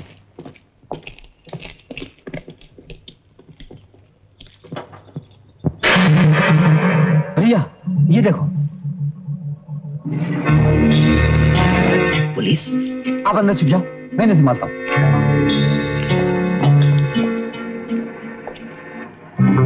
Hello mister Vijay. क्या हाल है इंस्पेक्टर साहब? ठीक है क्या कुछ गड़बड़ है? नहीं जरा गाड़ी खराब हो गई थी। आ, मैं कुछ मदद कर सकता नहीं नहीं अभी स्टार्ट हो जाएगी। आ, ये देखिए। स्टार्ट हो गई। Okay bye bye bye.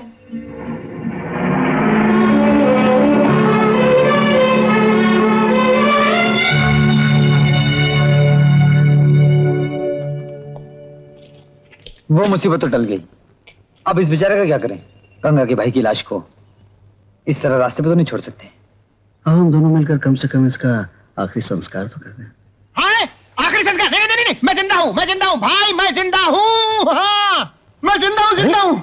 हाँ ये देखिए ये देखिए पहली गोली मेरे को यहाँ लगी मगर इस गुड लक की वजह से बच गया। दूसरी गोली मेरे को यहाँ लगी उसमें से थोड़ा सा खून निकला और मैंने यहाँ से लेकर थोड़ा यहाँ उसको मसल दिया और लंबा पड़ के सो गया आँख खुली तो आप दोनों को सामने पाया। विजय बाबू मैं तो बच गया। लेकिन आपकी बहन मीना को उस बदमाश ने कैद करके रखा है। तुम जानते हो मीना कहाँ? मीना कहाँ ये तो मुझे मालूम है। लेकिन उस जगह का रास्ता मुझे नहीं मालूम। आज वहाँ मैंने एक ऐसा चमत्कार देखा जो मैं आपको बता नहीं सकता। क्या देखा तुमने? वो वैसे तो इंसान बाहर से सीधा साधा और शरीफ नज़र आता था लेकिन जल्लाद की तरह ऐसे गोली मारने का हुक्म दिया जैसे मैं कोई खिलौना हूँ। कौन था वो? वही सपना टी एस्टेट का करता धरता सपना देवी का भाई विनोद सक्सेना। क्या? तुम्हारा मतलब है उस गैंग का बॉस वो है? हाँ। इम्पॉसिबल नामुमकिन। मैं नहीं मान सकती। मेरे भैया ऐसे हरगिज नहीं हो सकते। यकीन तो मुझे भी नहीं आता सपना। लेकिन मैंने जो कुछ कहा वो सब प्रीतम ने अपनी आँखों से देखा है। वो नहीं आपके पास? वो क्या? अरे वो मतलब ये सच बता प्रीतम हैं? तुमने देखा क्या? देखो जी। झूठ बोलने की आदत तो हमारे खानदान में सात पुश्तों से खत्म हो चुकी है। और सच बात तो ये है कि वो आप ही के भाई थे जिन्होंने विजय बाबू की बहन को कैद करके रखा है और मुझे गोली मारने का हुक्म दिया था। अब आप माने या नहीं माने वो आपकी मर्ज़ी। अरे भाई थोड़ी है। शराब भैया हमें किसी भी तरह उस अड्डे का पता लगाना होगा। न जाने वो कम वक्त मीना के साथ क्या सलूक करे। यही तो मैं भी सोच रहा हूँ। अगर देर हो गई तो अंधेर हो जाएगा। सपना अगर तुम चाहो तो हमारी मुश्किल आसान कर सकती हो। सूरज अगर सचमुच मेरे भाई इस साजिश के साथी हैं तो यकीन मानो मैं अपने हाथों से उन पर गोली चलाने से पीछे नहीं हटूँगी। उल्लू हो तुम सिर्फ़ इतनी सी बात के लिए तुम यहाँ चले आए जबकि मैं तुम्हें हज़ार बार कह चुका हूँ तुम्हारे यहाँ आना किसी वक्त भी खतरे का बाइस बन सकता है। जिससे आप इतनी सी बात समझ रहे हैं वो इतनी सी बात नहीं है बॉस। सोचिए आपकी वैन उस शराबी की लाश के साथ दुश्मनों के हाथ लग गई है। किसी में कुछ भी हो सकता है। कुछ नहीं होगा। तुम्हारी ऊपर की मंजिल खड़ी हो चुकी है। अव्वल तो सूरज खुद एक फरार मुजरिम है। पुलिस तक पहुंचेगा ही नहीं। अगर वन परसेंट भी इसका कोई चांस है तो इससे पहले तुम पुलिस में जाकर रिपोर्ट लिखवा दोगे कि हमारी वैन चोरी हो चुकी है। हम पर कोई शक नहीं करेगा। खड़े खड़े मेरा मुँह क्या देख रहे हो? जाओ यहाँ से। सुनो। वो हमारे विदेशी दोस्त। कब तक पहुँच रहे हैं? सर उनके सीक्रेट मैसेज के मुताबिक दो दिनों के अंदर पहुँच जाएँगे। गुड इस आखिरी सौदे के बाद मैं और ज़्यादा रिस्क नहीं ले सकता। हमें जल्द से जल्द अपना कारोबार समेट कर इस देश को कुछ दिनों के लिए छोड़ देना होगा। पूरी तैयारी करो।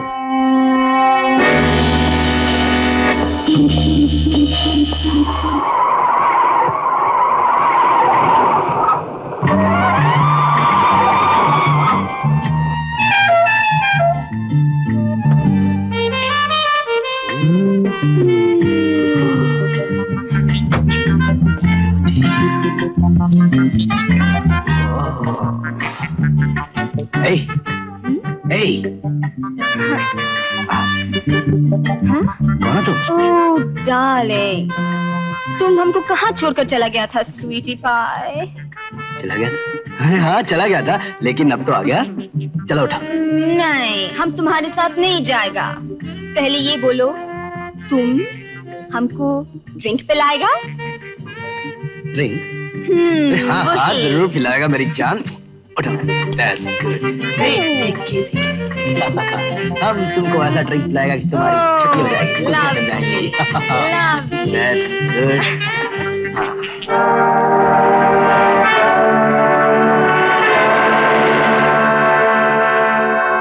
बस पहुँच गए। हम्म? क्या हुआ? कौन हो तुम?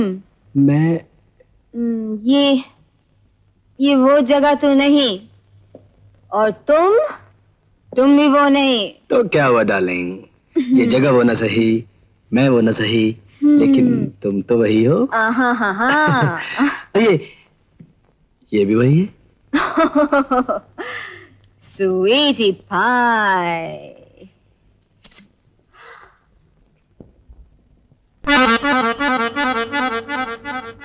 ये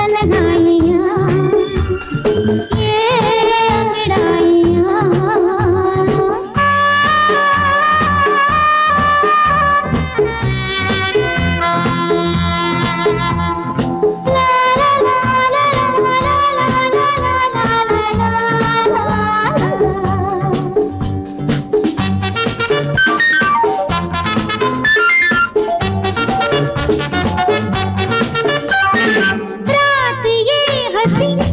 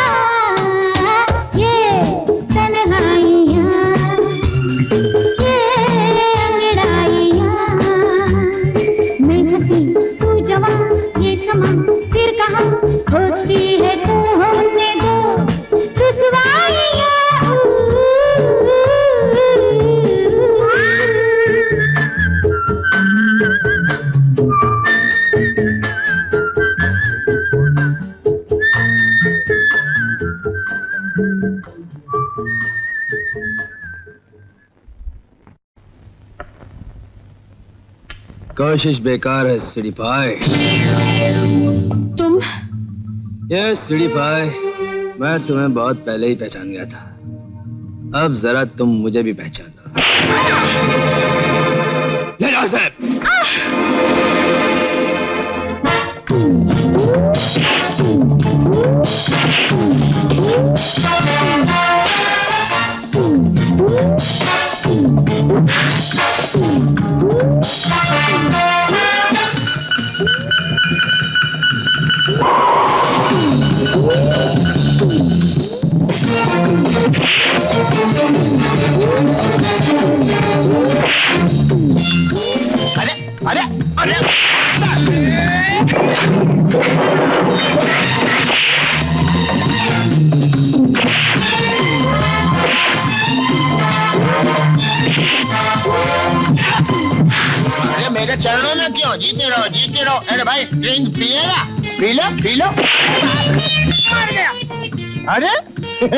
जय भगवान जी। आप फिर मिल गए, हैं? कोई नया चमत्कार दिखाने वाले हो क्या?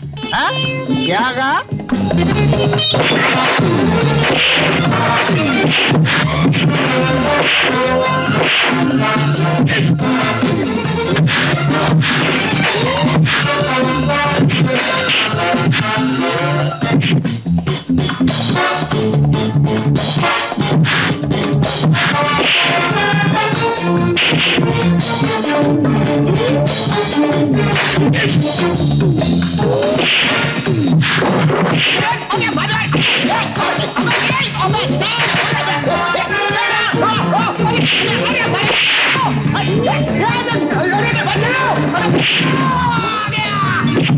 哈哈哈哈哈哈。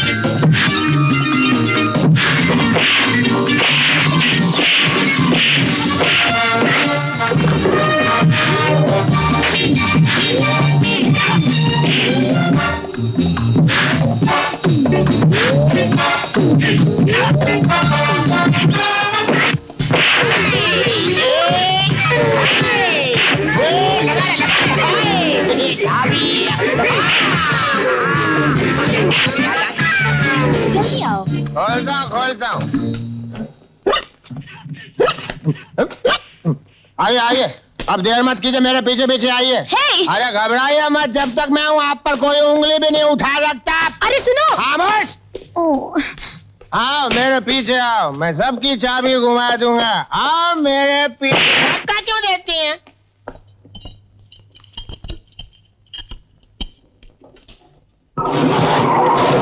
भैया?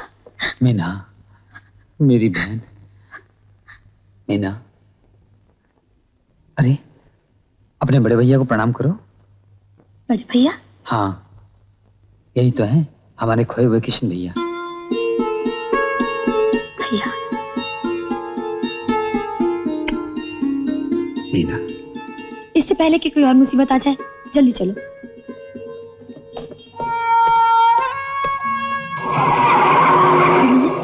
मीना मैं सोच भी नहीं सकता था कि तुमसे मिल पाऊँगा। विनोद जल्दी चलो। कोई और तुम्हारा इंतज़ार कर रहा है। चलो।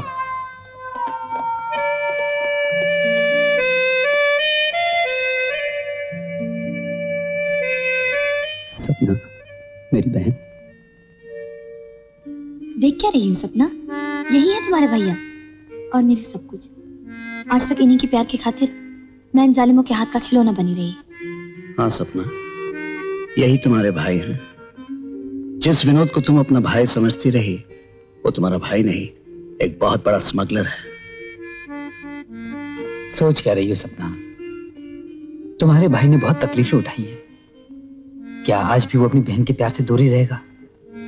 भैया।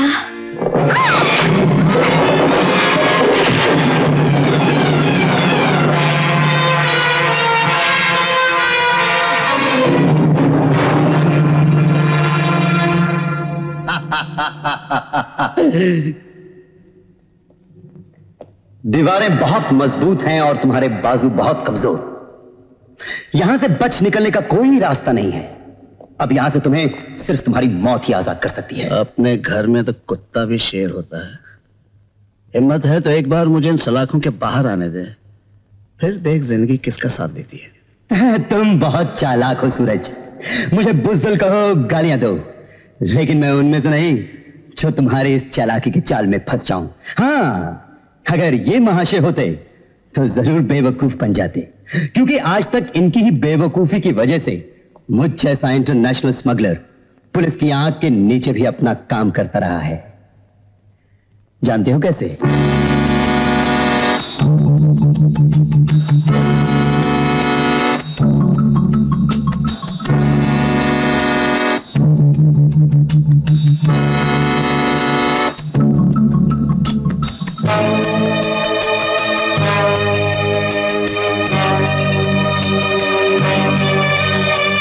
तुम्हारा काम तमाम होने का वक्त आ ही गया है। अपने गुनाहों के जो रेशमी धागे तुम आज तक अपने गिर्द लपेटते रहे हो, वही अब तुम्हारे लिए लोहे की मज़बूत जंजीरें बन चुके हैं। वो दिन दूर नहीं, जब तुम्हारे अपने गुनाह तुम्हारा गला घोट देंगे।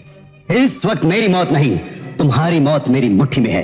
मैं अगर चाहता तो उसी दिन तुम्हें खत्म कर सकता था, जिस दिन तुम्हें कैद किया था। सिर्फ़ इसलिए तुम्हें ज़िंदा रखा कि वक्त आने पर तुम्हें कानून के हवाले करके खुद निकल जाऊँ। क्योंकि जनाब की सूरत हमसे मिलती है। कमीने अगर मुझे पहले से तेरी असलियत का पता चल जाता तो मैं तेरा खून पी जाती। ये सपना तो अब सपना ही रह जाएगा सपना देवी। वैसे जितना संदिल आप लोग मुझे समझ रहे हैं उतना मैं नहीं हूँ। अपनी मौत से गले मिलने से पहले मैं तुम प्रेमियों को तन्हाई में रहने का थोड़ा सा मौका ज़रूर दूँगा। जी भर कर एक दूसरे को देख लो गले मिल लो प्यार कर लो क्योंकि सुबह की पहली किरण तुम सबके लिए मौत का पैगाम लेकर आएगी। टाइम बॉम्ब मैंने वहाँ रखवा दिया है। ठीक सुबह के छह बजे यह इमारत एक धमाके के साथ उड़ जाएगी और मेरे जुर्म के निशान के साथ साथ तुम सबकी ज़िंदगी के निशान भी मिट्टी में मिल जाएँगे। अलविदा, खुदा हाफिज। गुड बाय जल्दी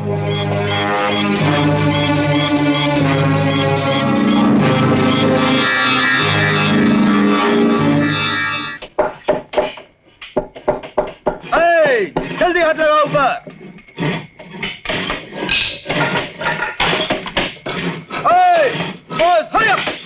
क्या करता है उधर? जल्दी।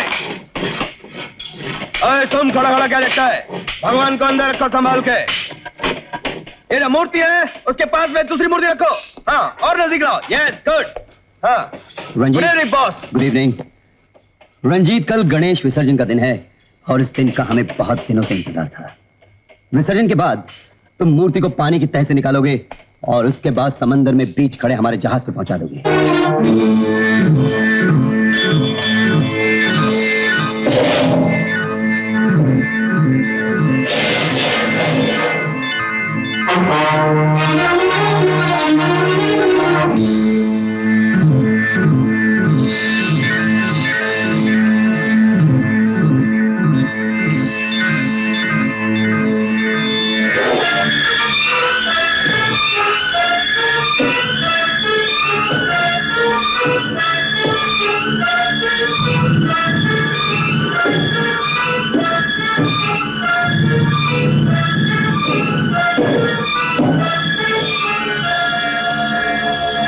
Ranjit, are you through with the deal? Yes, sir. Good. Then come on, gentlemen. I shall explain you the full scheme. Come on. विजय जल्दी करो प्रीतम के सीने पे टाइम बॉम्ब है टाइम बॉम्ब हाँ? नहीं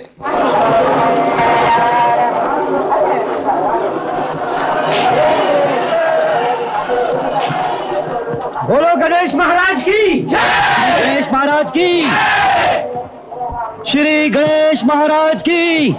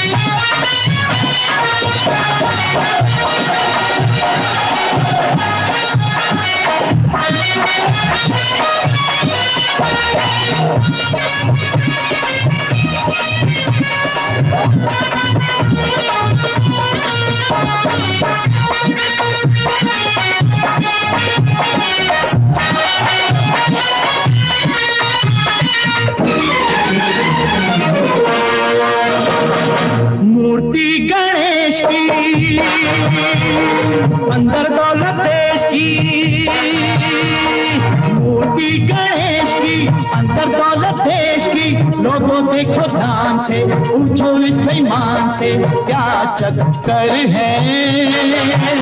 ओ आज हमारी चक्कर है। गणेश की, अंदर दौलत देश की।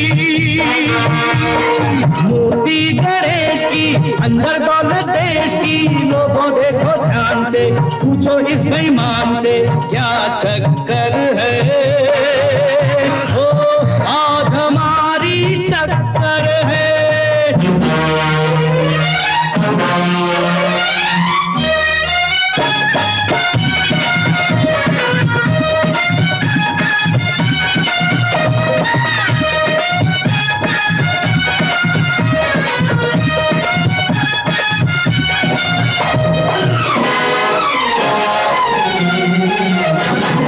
गली गली में शोर है। साधु नहीं, ये चोर है। ऊपर से कुछ और है, अंदर से कुछ और है। गली गली में शोर है साधु नहीं, ये चोर है। ऊपर से कुछ और है, अंदर से कुछ और है। तुम इसको पहचान लो ओ दीवानो जान लो, क्या चक्कर है? ओ, आज हमारी टक्कर है। मूर्ति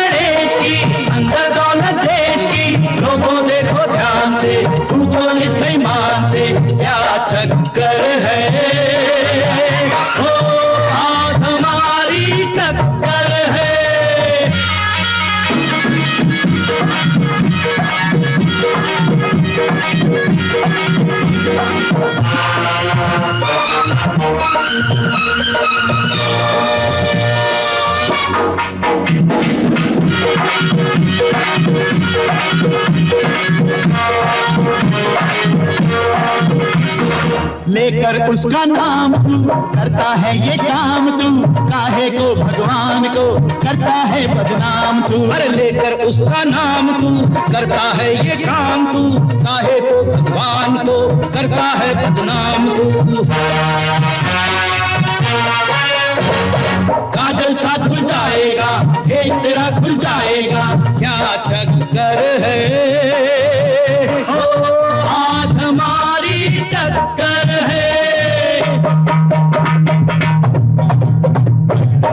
मूर्ति गणेश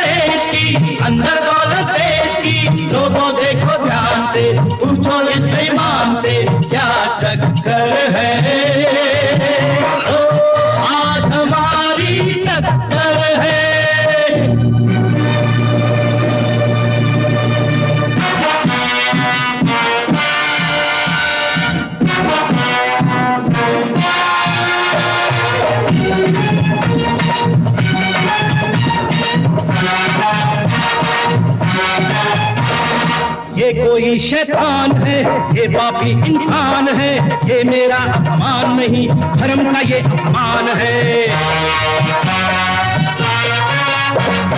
ये कोई शैतान है, ये पापी इंसान है, ये मेरा अपमान नहीं, धर्म का ये अपमान है। रोके ये भगवान को, रोको इस शैतान को, क्या चक्कर है? ओ, आज हमारी चक्कर है।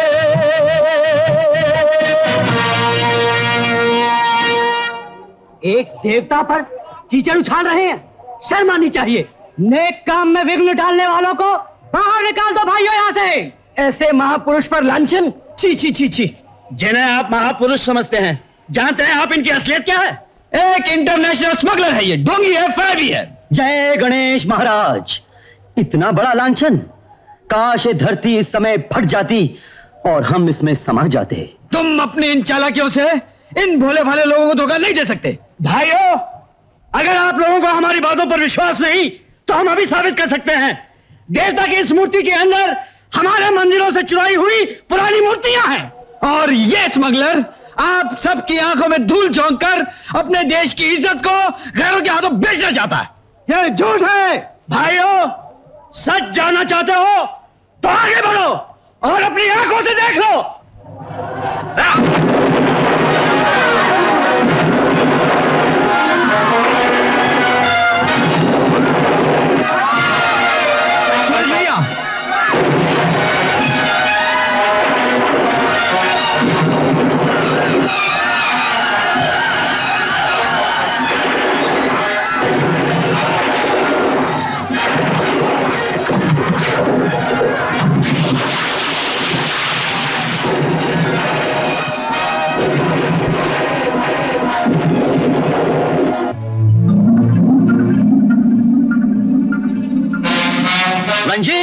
जल्दी करो। ओके। कम ऑन हरी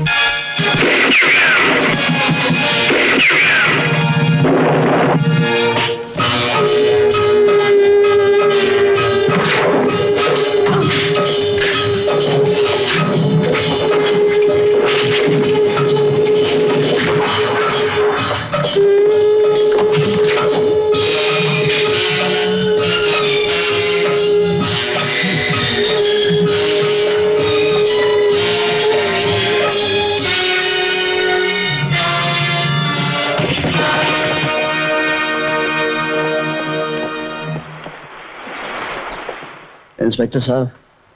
आपके पहुँचने से पहले ही कुदरत ने शैतान का इंसाफ कर दिया। मिस्टर सूरज। जानता हूँ इंस्पेक्टर। चलिए। भैया। विजय तुम्हारा भाई भी तो कानून का मुजरिम है। और अभी मेरे जुर्म का इंसाफ बाकी है। चलिए इंस्पेक्टर। चलो सब चलो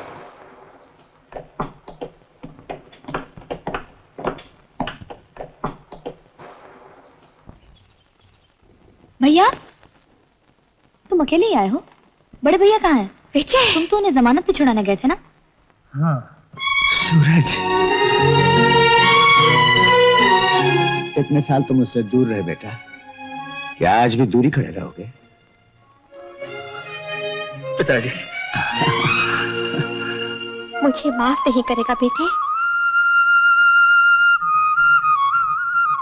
एक बार माँ नहीं कहेगा मुझे।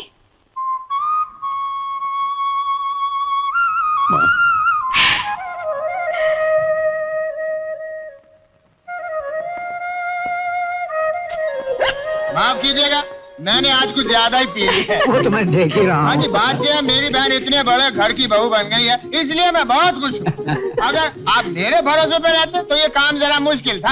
आपके पाँव किधर है हाँ? पाँव जहाँ होना चाहिए वहीं है लेकिन छूने की ज़रूरत नहीं पड़ती नहीं, नहीं, आपको ज़रूरत नहीं होगी मगर मुझे तो है। आप इतने बड़े आदमी हैं नहीं नहीं मेरी नज़र में सब बराबर है कुछ छोटा बड़ा नहीं यानी सब टक्कर के तो फिर मुझे इजाज़त दीजिए। मैं अभी जाकर करता हूँ उस डेढ़ फुट के विलन के साथ एक टक्कर!